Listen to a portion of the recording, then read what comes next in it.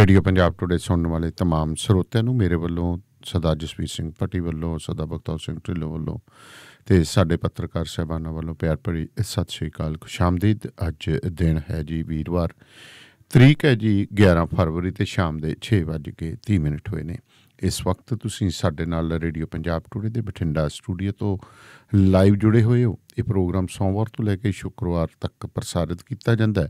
ਇਸ ਦਾ ਮੁੜ ਪ੍ਰਸਾਰਣ ਹੁਣ ਤੋਂ ਕੋਈ 4 ਘੰਟਿਆਂ ਬਾਅਦ ਯਾਨੀ ਕਿ 10:30 ਵਜੇ ਤੇ ਫਿਰ 11 ਘੰਟਿਆਂ ਬਾਅਦ ਸਵੇਰੇ 5:30 ਵਜੇ ਕੀਤਾ ਜਾਂਦਾ ਇਸ ਤੋਂ ਇਲਾਵਾ ਤੁਸੀਂ ਰੇਡੀਓ ਪੰਜਾਬ ਟੂਡੇ ਦੇ ਇਸ ਪ੍ਰੋਗਰਾਮ ਨੂੰ ਤੁਸੀਂ YouTube ਅਤੇ Facebook ਪੇਜ ਦੇ ਉੱਤੇ ਯਾਨੀ ਕਿ ਰੇਡੀਓ ਪੰਜਾਬ ਟੂਡੇ ਦੇ YouTube ਅਤੇ Facebook ਪੇਜ ਦੇ ਉੱਤੇ ਵੀ ਸੁਣ ਸਕਦੇ ਹੋ। ਸੋ ਅੱਜ ਦਾ ਇਹ ਪ੍ਰੋਗਰਾਮ ਤੁਹਾਡੇ ਤੱਕ ਪਹੁੰਚਾਇਆ ਜੀ ਪਿੰਡ ਪੈਣੀ ਵੜਿੰਗਾ ਦੇ ਸਾਡੇ ਸਤਿਕਾਰਤ ਲਿਸਨਰਸ ਵੱਲੋਂ। ਵਾਸ਼ਿੰਗਟਨ ਫਰੇਟ ਸਰਵਿਸ ਜਿਹੜੀ ਸੈਟਲ ਏਰੀਆ ਦੇ ਵਿੱਚ ਓਨਰ, ਆਪਰੇਟਰ ਤੇ ਡਰਾਈਵਰ ਹਾਇਰ ਕਰ ਰਹੀ ਹੈ। ਡਿਸਪੈਚ ਪੰਜਾਬੀ ਤੇ ਇੰਗਲਿਸ਼ ਕਰਦੇ ਨੇ ਜੀ। ਡੇਲੀ ਕੰਮ ਕਰਕੇ ਘਰੇ ਜਾ ਸਕਦੇ ਹੋ। ਗੁਰਵਿੰਦਰ ਧਾਲੀਵਾਲ ਹੋਰਾਂ ਨਾਲ ਸੰਪਰਕ ਕਰੋ। 2063544060 ਬੇਕਸਵੀਲ ਏਰੀਆ ਦੇ ਵਿੱਚ ਬਿਜਲੀ ਦੇ ਭਾਰੀ ਬਿੱਲਾਂ ਤੋਂ ਨਿਜਾਤ ਪਾਉਣ ਦੇ ਲਈ ਆਪਣੇ ਘਰਾਂ ਤੇ ਵਪਾਰਕ ਸਥਾਨਾਂ ਦੀਆਂ ਛੱਤਾਂ ਤੇ ਸੋਲਰ ਸਿਸਟਮ ਲਾਓ। ਹਜ਼ਾਰਾਂ ਰੁਪਏ ਦੀ ਤੁਸੀਂ ਬਚਤ ਕਰ ਸਕਦੇ ਹੋ। ਬਿਜਲੀ ਦਾ ਬਿੱਲ ਜ਼ੀਰੋ ਕਰ ਸਕਦੇ ਹੋ। ਜਤਿੰਦਰ ਸਿੰਘ ਤੂਰ ਹੋਰੀ 6617541722 ਇਸ ਤੋਂ ਪਹਿਲਾਂ ਕੀ ਆਪਾਂ ਅੱਗੇ ਚੱਲੀਏ? ਵਪਾਰਕ ਸਨੇਹੀ। ਤੇ ਫਿਰ ਹਾਜ਼ਰ ਭਾਈ ਜੀ, ਨਵੀਂ DD15 ਚਲਾਉਂਦੇ ਜਾਂ Paccar MaxxForce Cummins ISX Volvo Mercedes Sprinter ਜਿਹੀ ਮੋਟਰ ਹੋਵੇ, ਤੇਲ ਹੋਰ origignal ਫਿਲਟਰ ਤਾਂ ਚੇਂਜ ਕਰਾਉਣਾ ਹੀ ਆ। ਆ ਜਾਓ ਫਿਰ quick truck lube truck servicing ਵਾਹ ਭਾਈ ਵਾਹ, ਕੋਈ ਅਪਾਇੰਟਮੈਂਟ ਨਹੀਂ ਡਰਾਈਵ ਥਰੂ ਫੈਸਿਲਿਟੀ ਯੂਜ਼ ਕਰੋ। ਦੋ ਲੋਕੇਸ਼ਨਸ ਤੁਸੀਂ ਜਾਣਦੇ ਹੀ ਹੋ exit 268 on highway 401 or exit 5 on QEW quick truck lube ਖੁਸ਼ ਹੋ ਕੇ ਪਰਤੋਗੇ ਮੰਨ ਲਓ 19622 0660 519622 0660 QTL because we care. We track you. ਓਏ ਮੇਰੇ ਵੀਰ ਮੈਨੂੰ ਬਸ ਇੱਕ ਗੱਲ ਦੱਸ ਦੇ ਵੀ ਆ ਜਿਹੜੀ ਤੂੰ ਟਰੈਵਲਿੰਗ ਕਰਦਾ ਤੇ ਉਹਦੇ ਤੋਂ ਬਾਅਦ ਫਰੈਸ਼ ਰਹਿਣਾ ਇਹਦਾ ਰਾਜ਼ ਕੀ ਹੈ? ਇਹਦਾ ਰਾਜ਼ ਹੈ Arlington fuel stop Arlington fuel stop 1801 pioneer street highway exit 208 ਤੇ ਜਿੱਥੇ ਤੁਹਾਨੂੰ free coffee free fax service free truck parking ਰੋਟੀ ਠੇਕਾ ਲਾਂਡਰੀ ਸ਼ਾਵਰ ਤੇ ਟਰੱਕਾਂ ਦਾ ਹੋਰ ਵੀ ਸਾਮਾਨ ਆਸਾਨੀ ਨਾਲ ਮਿਲੇਗਾ। ਹੁਣੇ ਕਾਲ ਕਰੋ 360 652 6066 ਯਾਨੀ 360 652 6066 ਇਹ ਦੋ ਲੋਕੇਸ਼ਨਾਂ ਤੋਂ ਸੇਵਾਵਾਂ ਪ੍ਰਦਾਨ ਕਰਦੇ ਨੇ। Second location Lost Hill Travel Center 14814 ਐਲੋਮ street Lost Hills phone number 661 797 2354 ਉਹ ਯਾਰ, ਕੀ ਕੀ ਸੁਪਨੇ ਦੇਖੇ ਸੀ ਕੈਨੇਡਾ ਆਉਣ ਤੋਂ ਪਹਿਲਾਂ? ਉਹ ਸੁਪਨੇ ਪੂਰੇ ਕਰਨੇ ਆ ਤਾਂ ਡ੍ਰੀਮ ਲਾਈਨਰ ਐਕਸਪ੍ਰੈਸ ਵਾਲਿਆਂ ਨੂੰ ਕਾਲ ਕਰ। ਜੀ ਹਾਂ Dreamliner Express Company Calgary Alberta Canada ਜਿਨ੍ਹਾਂ ਨੂੰ ਸਾਫ਼ ਸੁਥਰੇ ਰਿਕਾਰਡ ਤੇ 2 ਸਾਲਾ ਤਜਰਬੇ ਵਾਲੇ ਡਰਾਈਵਰਸ ਦੀ ਲੋੜ ਹੈ। ਇਹਨਾਂ ਕੋਲ ਕੈਲਗਰੀ ਅਲਬਰਟਾ ਤੋਂ ਕੈਲੀਫੋਰਨੀਆ ਤੇ ਐਰੀਜ਼ੋਨਾ ਦੇ ਸਿੱਧੇ ਰਨ ਇਹਨਾਂ ਕੋਲ ਡਰਾਈ ਤੇ ਰੀਫਰ ਲੋਡ ਵੀ ਹੈ। Home return within 5 days biweekly ਤੇ ਚੰਗੀ ਤਨਖਾਹ ਦਿੰਦੇ ਆ। ਔਰ ਹਾਂ ਸਿੰਗਲ ਤੇ ਟੀਮਸ ਦੋਨਾਂ ਨੂੰ ਹਾਇਰ ਕਰਦੇ ਨੇ। ਵਧੇਰੇ ਜਾਣਕਾਰੀ ਲਈ call 4034049501 4034049501 Dreamliner Express Company Calgary Alberta Canada Bathinda ਦੀ ਗ੍ਰੀਨ ਸਿਟੀ ਦੀ ਅਪਾਰ ਸਫਲਤਾ ਤੋਂ ਬਾਅਦ ਹੁਣ ਪੇਸ਼ ਹੈ ਕਨਈਆਸ ਗ੍ਰੀਨ ਸਿਟੀ ਜਿੱਥੇ ਸਿਕਿਉਰਿਟੀ ਦੇ ਪੁਖਤਾ ਪ੍ਰਬੰਧ ਖੁੱਲੀਆਂ ਸੜਕਾਂ ਹਰਾ ਭਰਾ ਵਾਤਾਵਰਣ ਬਿਜਲੀ ਦੀਆਂ ਅੰਡਰਗਰਾਉਂਡ ਤਾਰਾਂ ਅਤੇ ਖੂਬਸੂਰਤ ਫੁੱਲ ਪੌਦੇ ਲੈਂਡਸਕੇਪਿੰਗ ਅਤੇ ਨਿਰਮਾਣ ਕਾਰਜ ਚੱਲ ਰਹੇ ਨੇ ਤੇਜ਼ੀ ਨਾਲ। ਇਸ ਤੋਂ ਪਹਿਲਾਂ ਕਿ ਸਾਰੇ ਪਲਾਟ ਬੁੱਕ ਹੋ ਜਾਣ, ਸੰਪਰਕ ਕਰੋ 8556002064 ਅਤੇ 8556002071 ਸੋ ਪ੍ਰੋਗਰਾਮ ਦਾ ਆਗਾਜ਼ ਕਰਦੇ ਮੇਰੇ ਨਾਲ ਸਰਦਾਰ ਜਸਵੀਰ ਸਿੰਘ ਪੱਟੀ ਹੋਰੀ ਜੁੜ ਗਏ ਨੇ ਜੀ। ਤੇ ਪੱਟੀ ਸਾਹਿਬ ਦੇ ਨਾਲ ਆਪਾਂ ਅੱਗੇ ਗੱਲ ਵਧਾਉਣ ਤੋਂ ਪਹਿਲਾਂ ਫਤਿਹ ਦੀ ਸਾਂਝ ਪਾ ਲਈਏ ਜੀ। ਸਤਿ ਸ਼੍ਰੀ ਅਕਾਲ ਜੀ ਪੱਟੀ ਸਾਹਿਬ। ਸਤਿ ਸ਼੍ਰੀ ਅਕਾਲ ਜੀ ਵਾਹਿਗੁਰੂ ਜੀ ਕਾ ਖਾਲਸਾ ਵਾਹਿਗੁਰੂ ਜੀ ਕੀ ਫਤਿਹ। ਪੱਟੀ ਸਾਹਿਬ ਅੱਜ ਮਹਾ ਪੰਚਾਇਤ ਹੋਈ। ਪੰਜਾਬ ਦੀ ਧਰਤੀ ਦੇ ਉੱਤੇ ਕਿਸਾਨਾਂ ਦਾ ਪਹਿਲਾਂ ਤਾਂ ਦੇਖੋ ਸਿੱਖੀ ਮਸਲਿਆਂ ਨੂੰ ਲੈ ਕੇ ਤਾਂ ਇਕੱਠ ਹੁੰਦੇ ਰਹੇ ਨੇ। ਪਰ ਕਿਸਾਨੀ ਮਸਲੇ ਨੂੰ ਲੈ ਕੇ ਐਡਾ ਵੱਡਾ ਇਕੱਠ ਨਰੋਲ ਸ਼ਾਇਦ ਮੈਂ ਆਪਣੇ ਜੀਵਨ ਦੇ ਵਿੱਚ ਪਹਿਲੀ ਵਾਰੀ ਦੇਖਿਆ। ਤਾਂ ਸਿੱਧੀ ਗੱਲ ਕਹੀਏ ਕਿ ਭਾਈ ਲਾਲੂਆਂ ਤੇ ਮਲਕ ਭਾਗੂਆਂ ਦੀ ਜਿਹੜੀ ਹੈ ਇਹ ਲੜਾਈ ਹੈ ਕੀ ਕਹੋਗੇ? ਜੀ ਜੀ। ਜਿਹੜਾ ਇਹ ਇਕੱਠ ਆ ਜੀ ਬਿਲਕੁਲ ਨਰੋਲ ਨਾਨ ਪੋਲੀਟੀਕਲ ਕਹਿ ਸਕਦੇ ਹੂੰ ਹੂੰ। ਭਾਵੇਂ ਕਿ ਇਸ ਇਕੱਠ ਦੇ ਵਿੱਚ ਜਿਹੜਾ ਵਾ ਪੋਲੀਟੀਕਲ ਬੰਦਿਆਂ ਨੇ ਵੀ ਬੰਦੇ ਬੰਦਿਆਂ ਨੇ ਵੀ ਆਪਣੇ ਲੀਡਰ ਨੇ ਆਪਣੇ ਬੰਦੇ ਜ਼ਰੂਰ ਭੇਜੇ ਨੇ ਭਾਈ ਤੁਸੀਂ ਜਾਓ ਕੱਲ ਨੂੰ ਅਸੀਂ ਦੱਸਣ ਵਾਲੇ ਬਣੀ ਹੈ ਵੀ ਸਾਡੇ ਉੱਥੇ ਇੰਨੇ ਬੰਦੇ ਗਏ ਸੀ। ਹੂੰ ਹੂੰ। ਕਿਉਂਕਿ ਇਸ ਵੇਲੇ ਜਿਹੜੀ ਸਾਡੀ ਵਿਧਾਨ ਸਭਾ ਚੋਣ ਹੋਣੀ ਐ ਕਿ ਜਿਹੜੇ ਹਾਲਾਤ ਬਣੇ ਤੇ ਇਦਾਂ ਬਣੇ ਰਹੇ ਤੇ ਫਿਰ ਕਿਸਾਨ ਜਥੇਬੰਦੀਆਂ ਜਿਹਦੇ ਤੇ ਹੱਥ ਰੱਖਣਗੀਆਂ ਉਹੀ ਉਮੀਦਵਾਰ ਜਿੱਦੂ ਭਾਵੇਂ ਕੋਈ ਪਾਰਟੀ ਦਾ ਹੋਵੇ ਤੇ ਭਾਵੇਂ ਕੋਈ ਆਜ਼ਾਦ ਹੋਵੇ। ਜੀ। ਇਸ ਤਰ੍ਹਾਂ ਦੀ ਸਿਚੁਏਸ਼ਨ ਬੜੀ ਪਈ ਹੈ। ਹੂੰ। ਲੇਕਿਨ ਉੱਥੇ ਜਿੰਨਾ ਕਿ ਜੋਸ਼ ਸੀਗਾ ਮਤਲਬ ਇੱਕ ਜਾਂ ਦੋ ਦਿਨ ਦੀ ਤਿਆਰੀ ਸਿਰਫ ਦੋ ਦਿਨ ਦੇ ਵਿੱਚ ਏਡਾ ਵੱਡਾ ਇਕੱਠ ਕਰਨਾ ਕੋਈ ਸੌਖੀ ਗੱਲ ਨਹੀਂ। ਹੂੰ ਹੂੰ ਹੂੰ ਮਤਲਬ ਲੋਕਾਂ 'ਚ ਉਤਸ਼ਾਹ ਕਾਫੀ ਸੀਗਾ ਭਾਈ ਅਸੀਂ ਇੱਥੇ ਵੱਡੀ ਗਿਣਤੀ ਜਾਣਾ। ਜੀ। ਉਹ ਆਏ ਨੇ। ਹੂੰ ਹੂੰ। ਉਹਨਾਂ ਦੇ ਵਿੱਚ ਔਰਤਾਂ ਦੀ ਬੜੀ ਵੱਡੀ ਗਿਣਤੀ ਸੀਗੀ। ਜੀ। ਵੈਸੇ ਤੇ ਉਹ ਜਗਰਾਉਂ ਕਹਿੰਦੇ ਵੈਸੇ ਹੀ ਰੋਸ਼ਨੀ ਦਾ ਸ਼ਹਿਰ ਰੋਸ਼ਨੀ ਉੱਥੋਂ ਮਿਲਦੀ ਜਦੋਂ ਮਿਲਦੀ ਆ। ਹੂੰ ਹੂੰ। ਤੇ ਉਹਦੇ ਵਿੱਚ ਇਕੱਠ ਦੇ ਵਿੱਚ ਜਿਹੜੇ ਲੀਡਰ ਬੋਲੇ ਨੇ ਲੀਡਰਾਂ ਨੇ ਸਿਰਫ ਇੱਕੋ ਹੀ ਗੱਲ ਕਹੀ ਵੀ ਸਾਡਾ ਇੱਕ ਨਕਾਤੀ ਪ੍ਰੋਗਰਾਮ ਵੀ ਸਾਡੇ ਇੱਕ ਕਾਨੂੰਨ ਵਾਪਸ ਲੈ ਜਾਣ। ਜੀ। ਉਹਦੇ ਵਿੱਚ ਜਾ ਕੇ ਆਪਾਂ ਕਿ ਜਿਹੜੇ ਕੁਲਵੰਤ ਸਿੰਘ ਸੰਧੂ ਆ ਉਹਨਾਂ ਵੀ ਸੰਬੋਧਨ ਕੀਤਾ ਮਨਜੀਤ ਸਿੰਘ ਧਨੇਰ ਨੇ ਸੰਬੋਧਨ ਕੀਤਾ ਬਲਵਿੰਦਰ ਸਿੰਘ ਸੰਬੋਧਨ ਕੀਤਾ ਜੀ। ਬਲਵਿੰਦਰ ਸਿੰਘ ਐਨਜੀਓ ਚਲਾਉਂਦੇ ਨੇ ਉੱਥੇ। ਹੂੰ ਹੂੰ। ਇਹਨਾਂ ਨੇ ਇੰਨੀ ਗੱਲ ਵੀ ਜਿਹੜੇ ਵੀ ਕਿਸਾਨ ਇਸ ਵੇਲੇ ਮੋਰਚੇ ਸ਼ਹੀਦ ਹੋਏ ਆ ਅਸੀਂ ਹਰ ਕਿਸਾਨ ਨੂੰ 50000 ਰੁਪਇਆ ਆਪਣੀ ਐਨਜੀਓ ਨੂੰ ਸਹਾਇਤਾ ਦਿੰਦੇ ਜੀ। ਤੇ ਜਿਹਦੇ ਸਾਡਾ ਨੰਬਰ ਉਹਨਾਂ ਸਟੇਜ ਤੋਂ ਕਿਹਾ ਵੀ ਜੇ ਕਿਸੇ ਨੂੰ ਅਜੇ ਤੱਕ ਨਹੀਂ ਮਿਲੇ ਸਾਡੇ ਨਾਲ ਇਸ ਨੰਬਰ ਤੇ ਰਾਬਤਾ ਕਾਇਮ ਕਰ ਲਈ ਅਸੀਂ ਉਹ ਦੇਵਾਂਗੇ। ਜੀ। ਔਰ ਜੇ ਕਿਤੇ ਇੱਥੇ ਕੋਈ ਆਇਆ ਉਹਦਾ ਪਰਿਵਾਰ ਕਿਸੇ ਦਾ ਆਇਆ ਤੇ ਸਾਡੇ ਕੋਲ ਇੱਥੇ ਪੈਸੇ ਲੈ ਲਵੇ। ਬੜੀ ਵੱਡੀ ਗੱਲ ਲਿਖੀ ਉੱਥੇ। ਜੀ। ਲੇਕਿਨ ਸਟੇਟ ਸੈਕਟਰੀ ਨੇ ਮਨਾ ਕੀਤਾ ਭਾਈ ਤੁਸੀਂ ਵੇਖੋ ਤੁਸੀਂ ਆ ਗਏ ਹੋ ਅੱਗੇ ਤੋਂ ਬੰਦਾ ਇਦਾਂ ਕੋਈ ਨਾ ਆਵੇ ਕਿ ਸਾਡਾ ਪ੍ਰੋਗਰਾਮ ਅਜੇ ਹੈ ਨਹੀਂ। ਹੂੰ ਹੂੰ। ਖੈਰ ਹੈ ਤੇ ਪ੍ਰੋਗਰਾਮ ਨਾਲ ਸੰਬੰਧਿਤ ਸੀਗਾ ਨਰਬੈਲ ਸਿੰਘ ਢੁੱਡੀਕੇ ਬੋਲੇ ਹਰਪਾਲ ਸਿੰਘ ਢੁੱਡੀਕੇ ਬੋਲੇ ਉੱਥੇ। ਇੱਕ ਕੋਈ ਨੱਥ ਸਾਹਿਬ ਇੱਕ ਰਜਿੰਦਰ ਕੌਰ ਬੀਬੀ ਹੈਗੀ ਉਹ ਬੋਲੀ ਆ ਅਮਰਜੀਤ ਸਿੰਘ ਬੋਲੇ ਨੇ ਕਿਸ ਕਿਸਾਨ ਸੰਘਰਸ਼ ਕਮੇਟੀ ਦੇ। ਜੀ।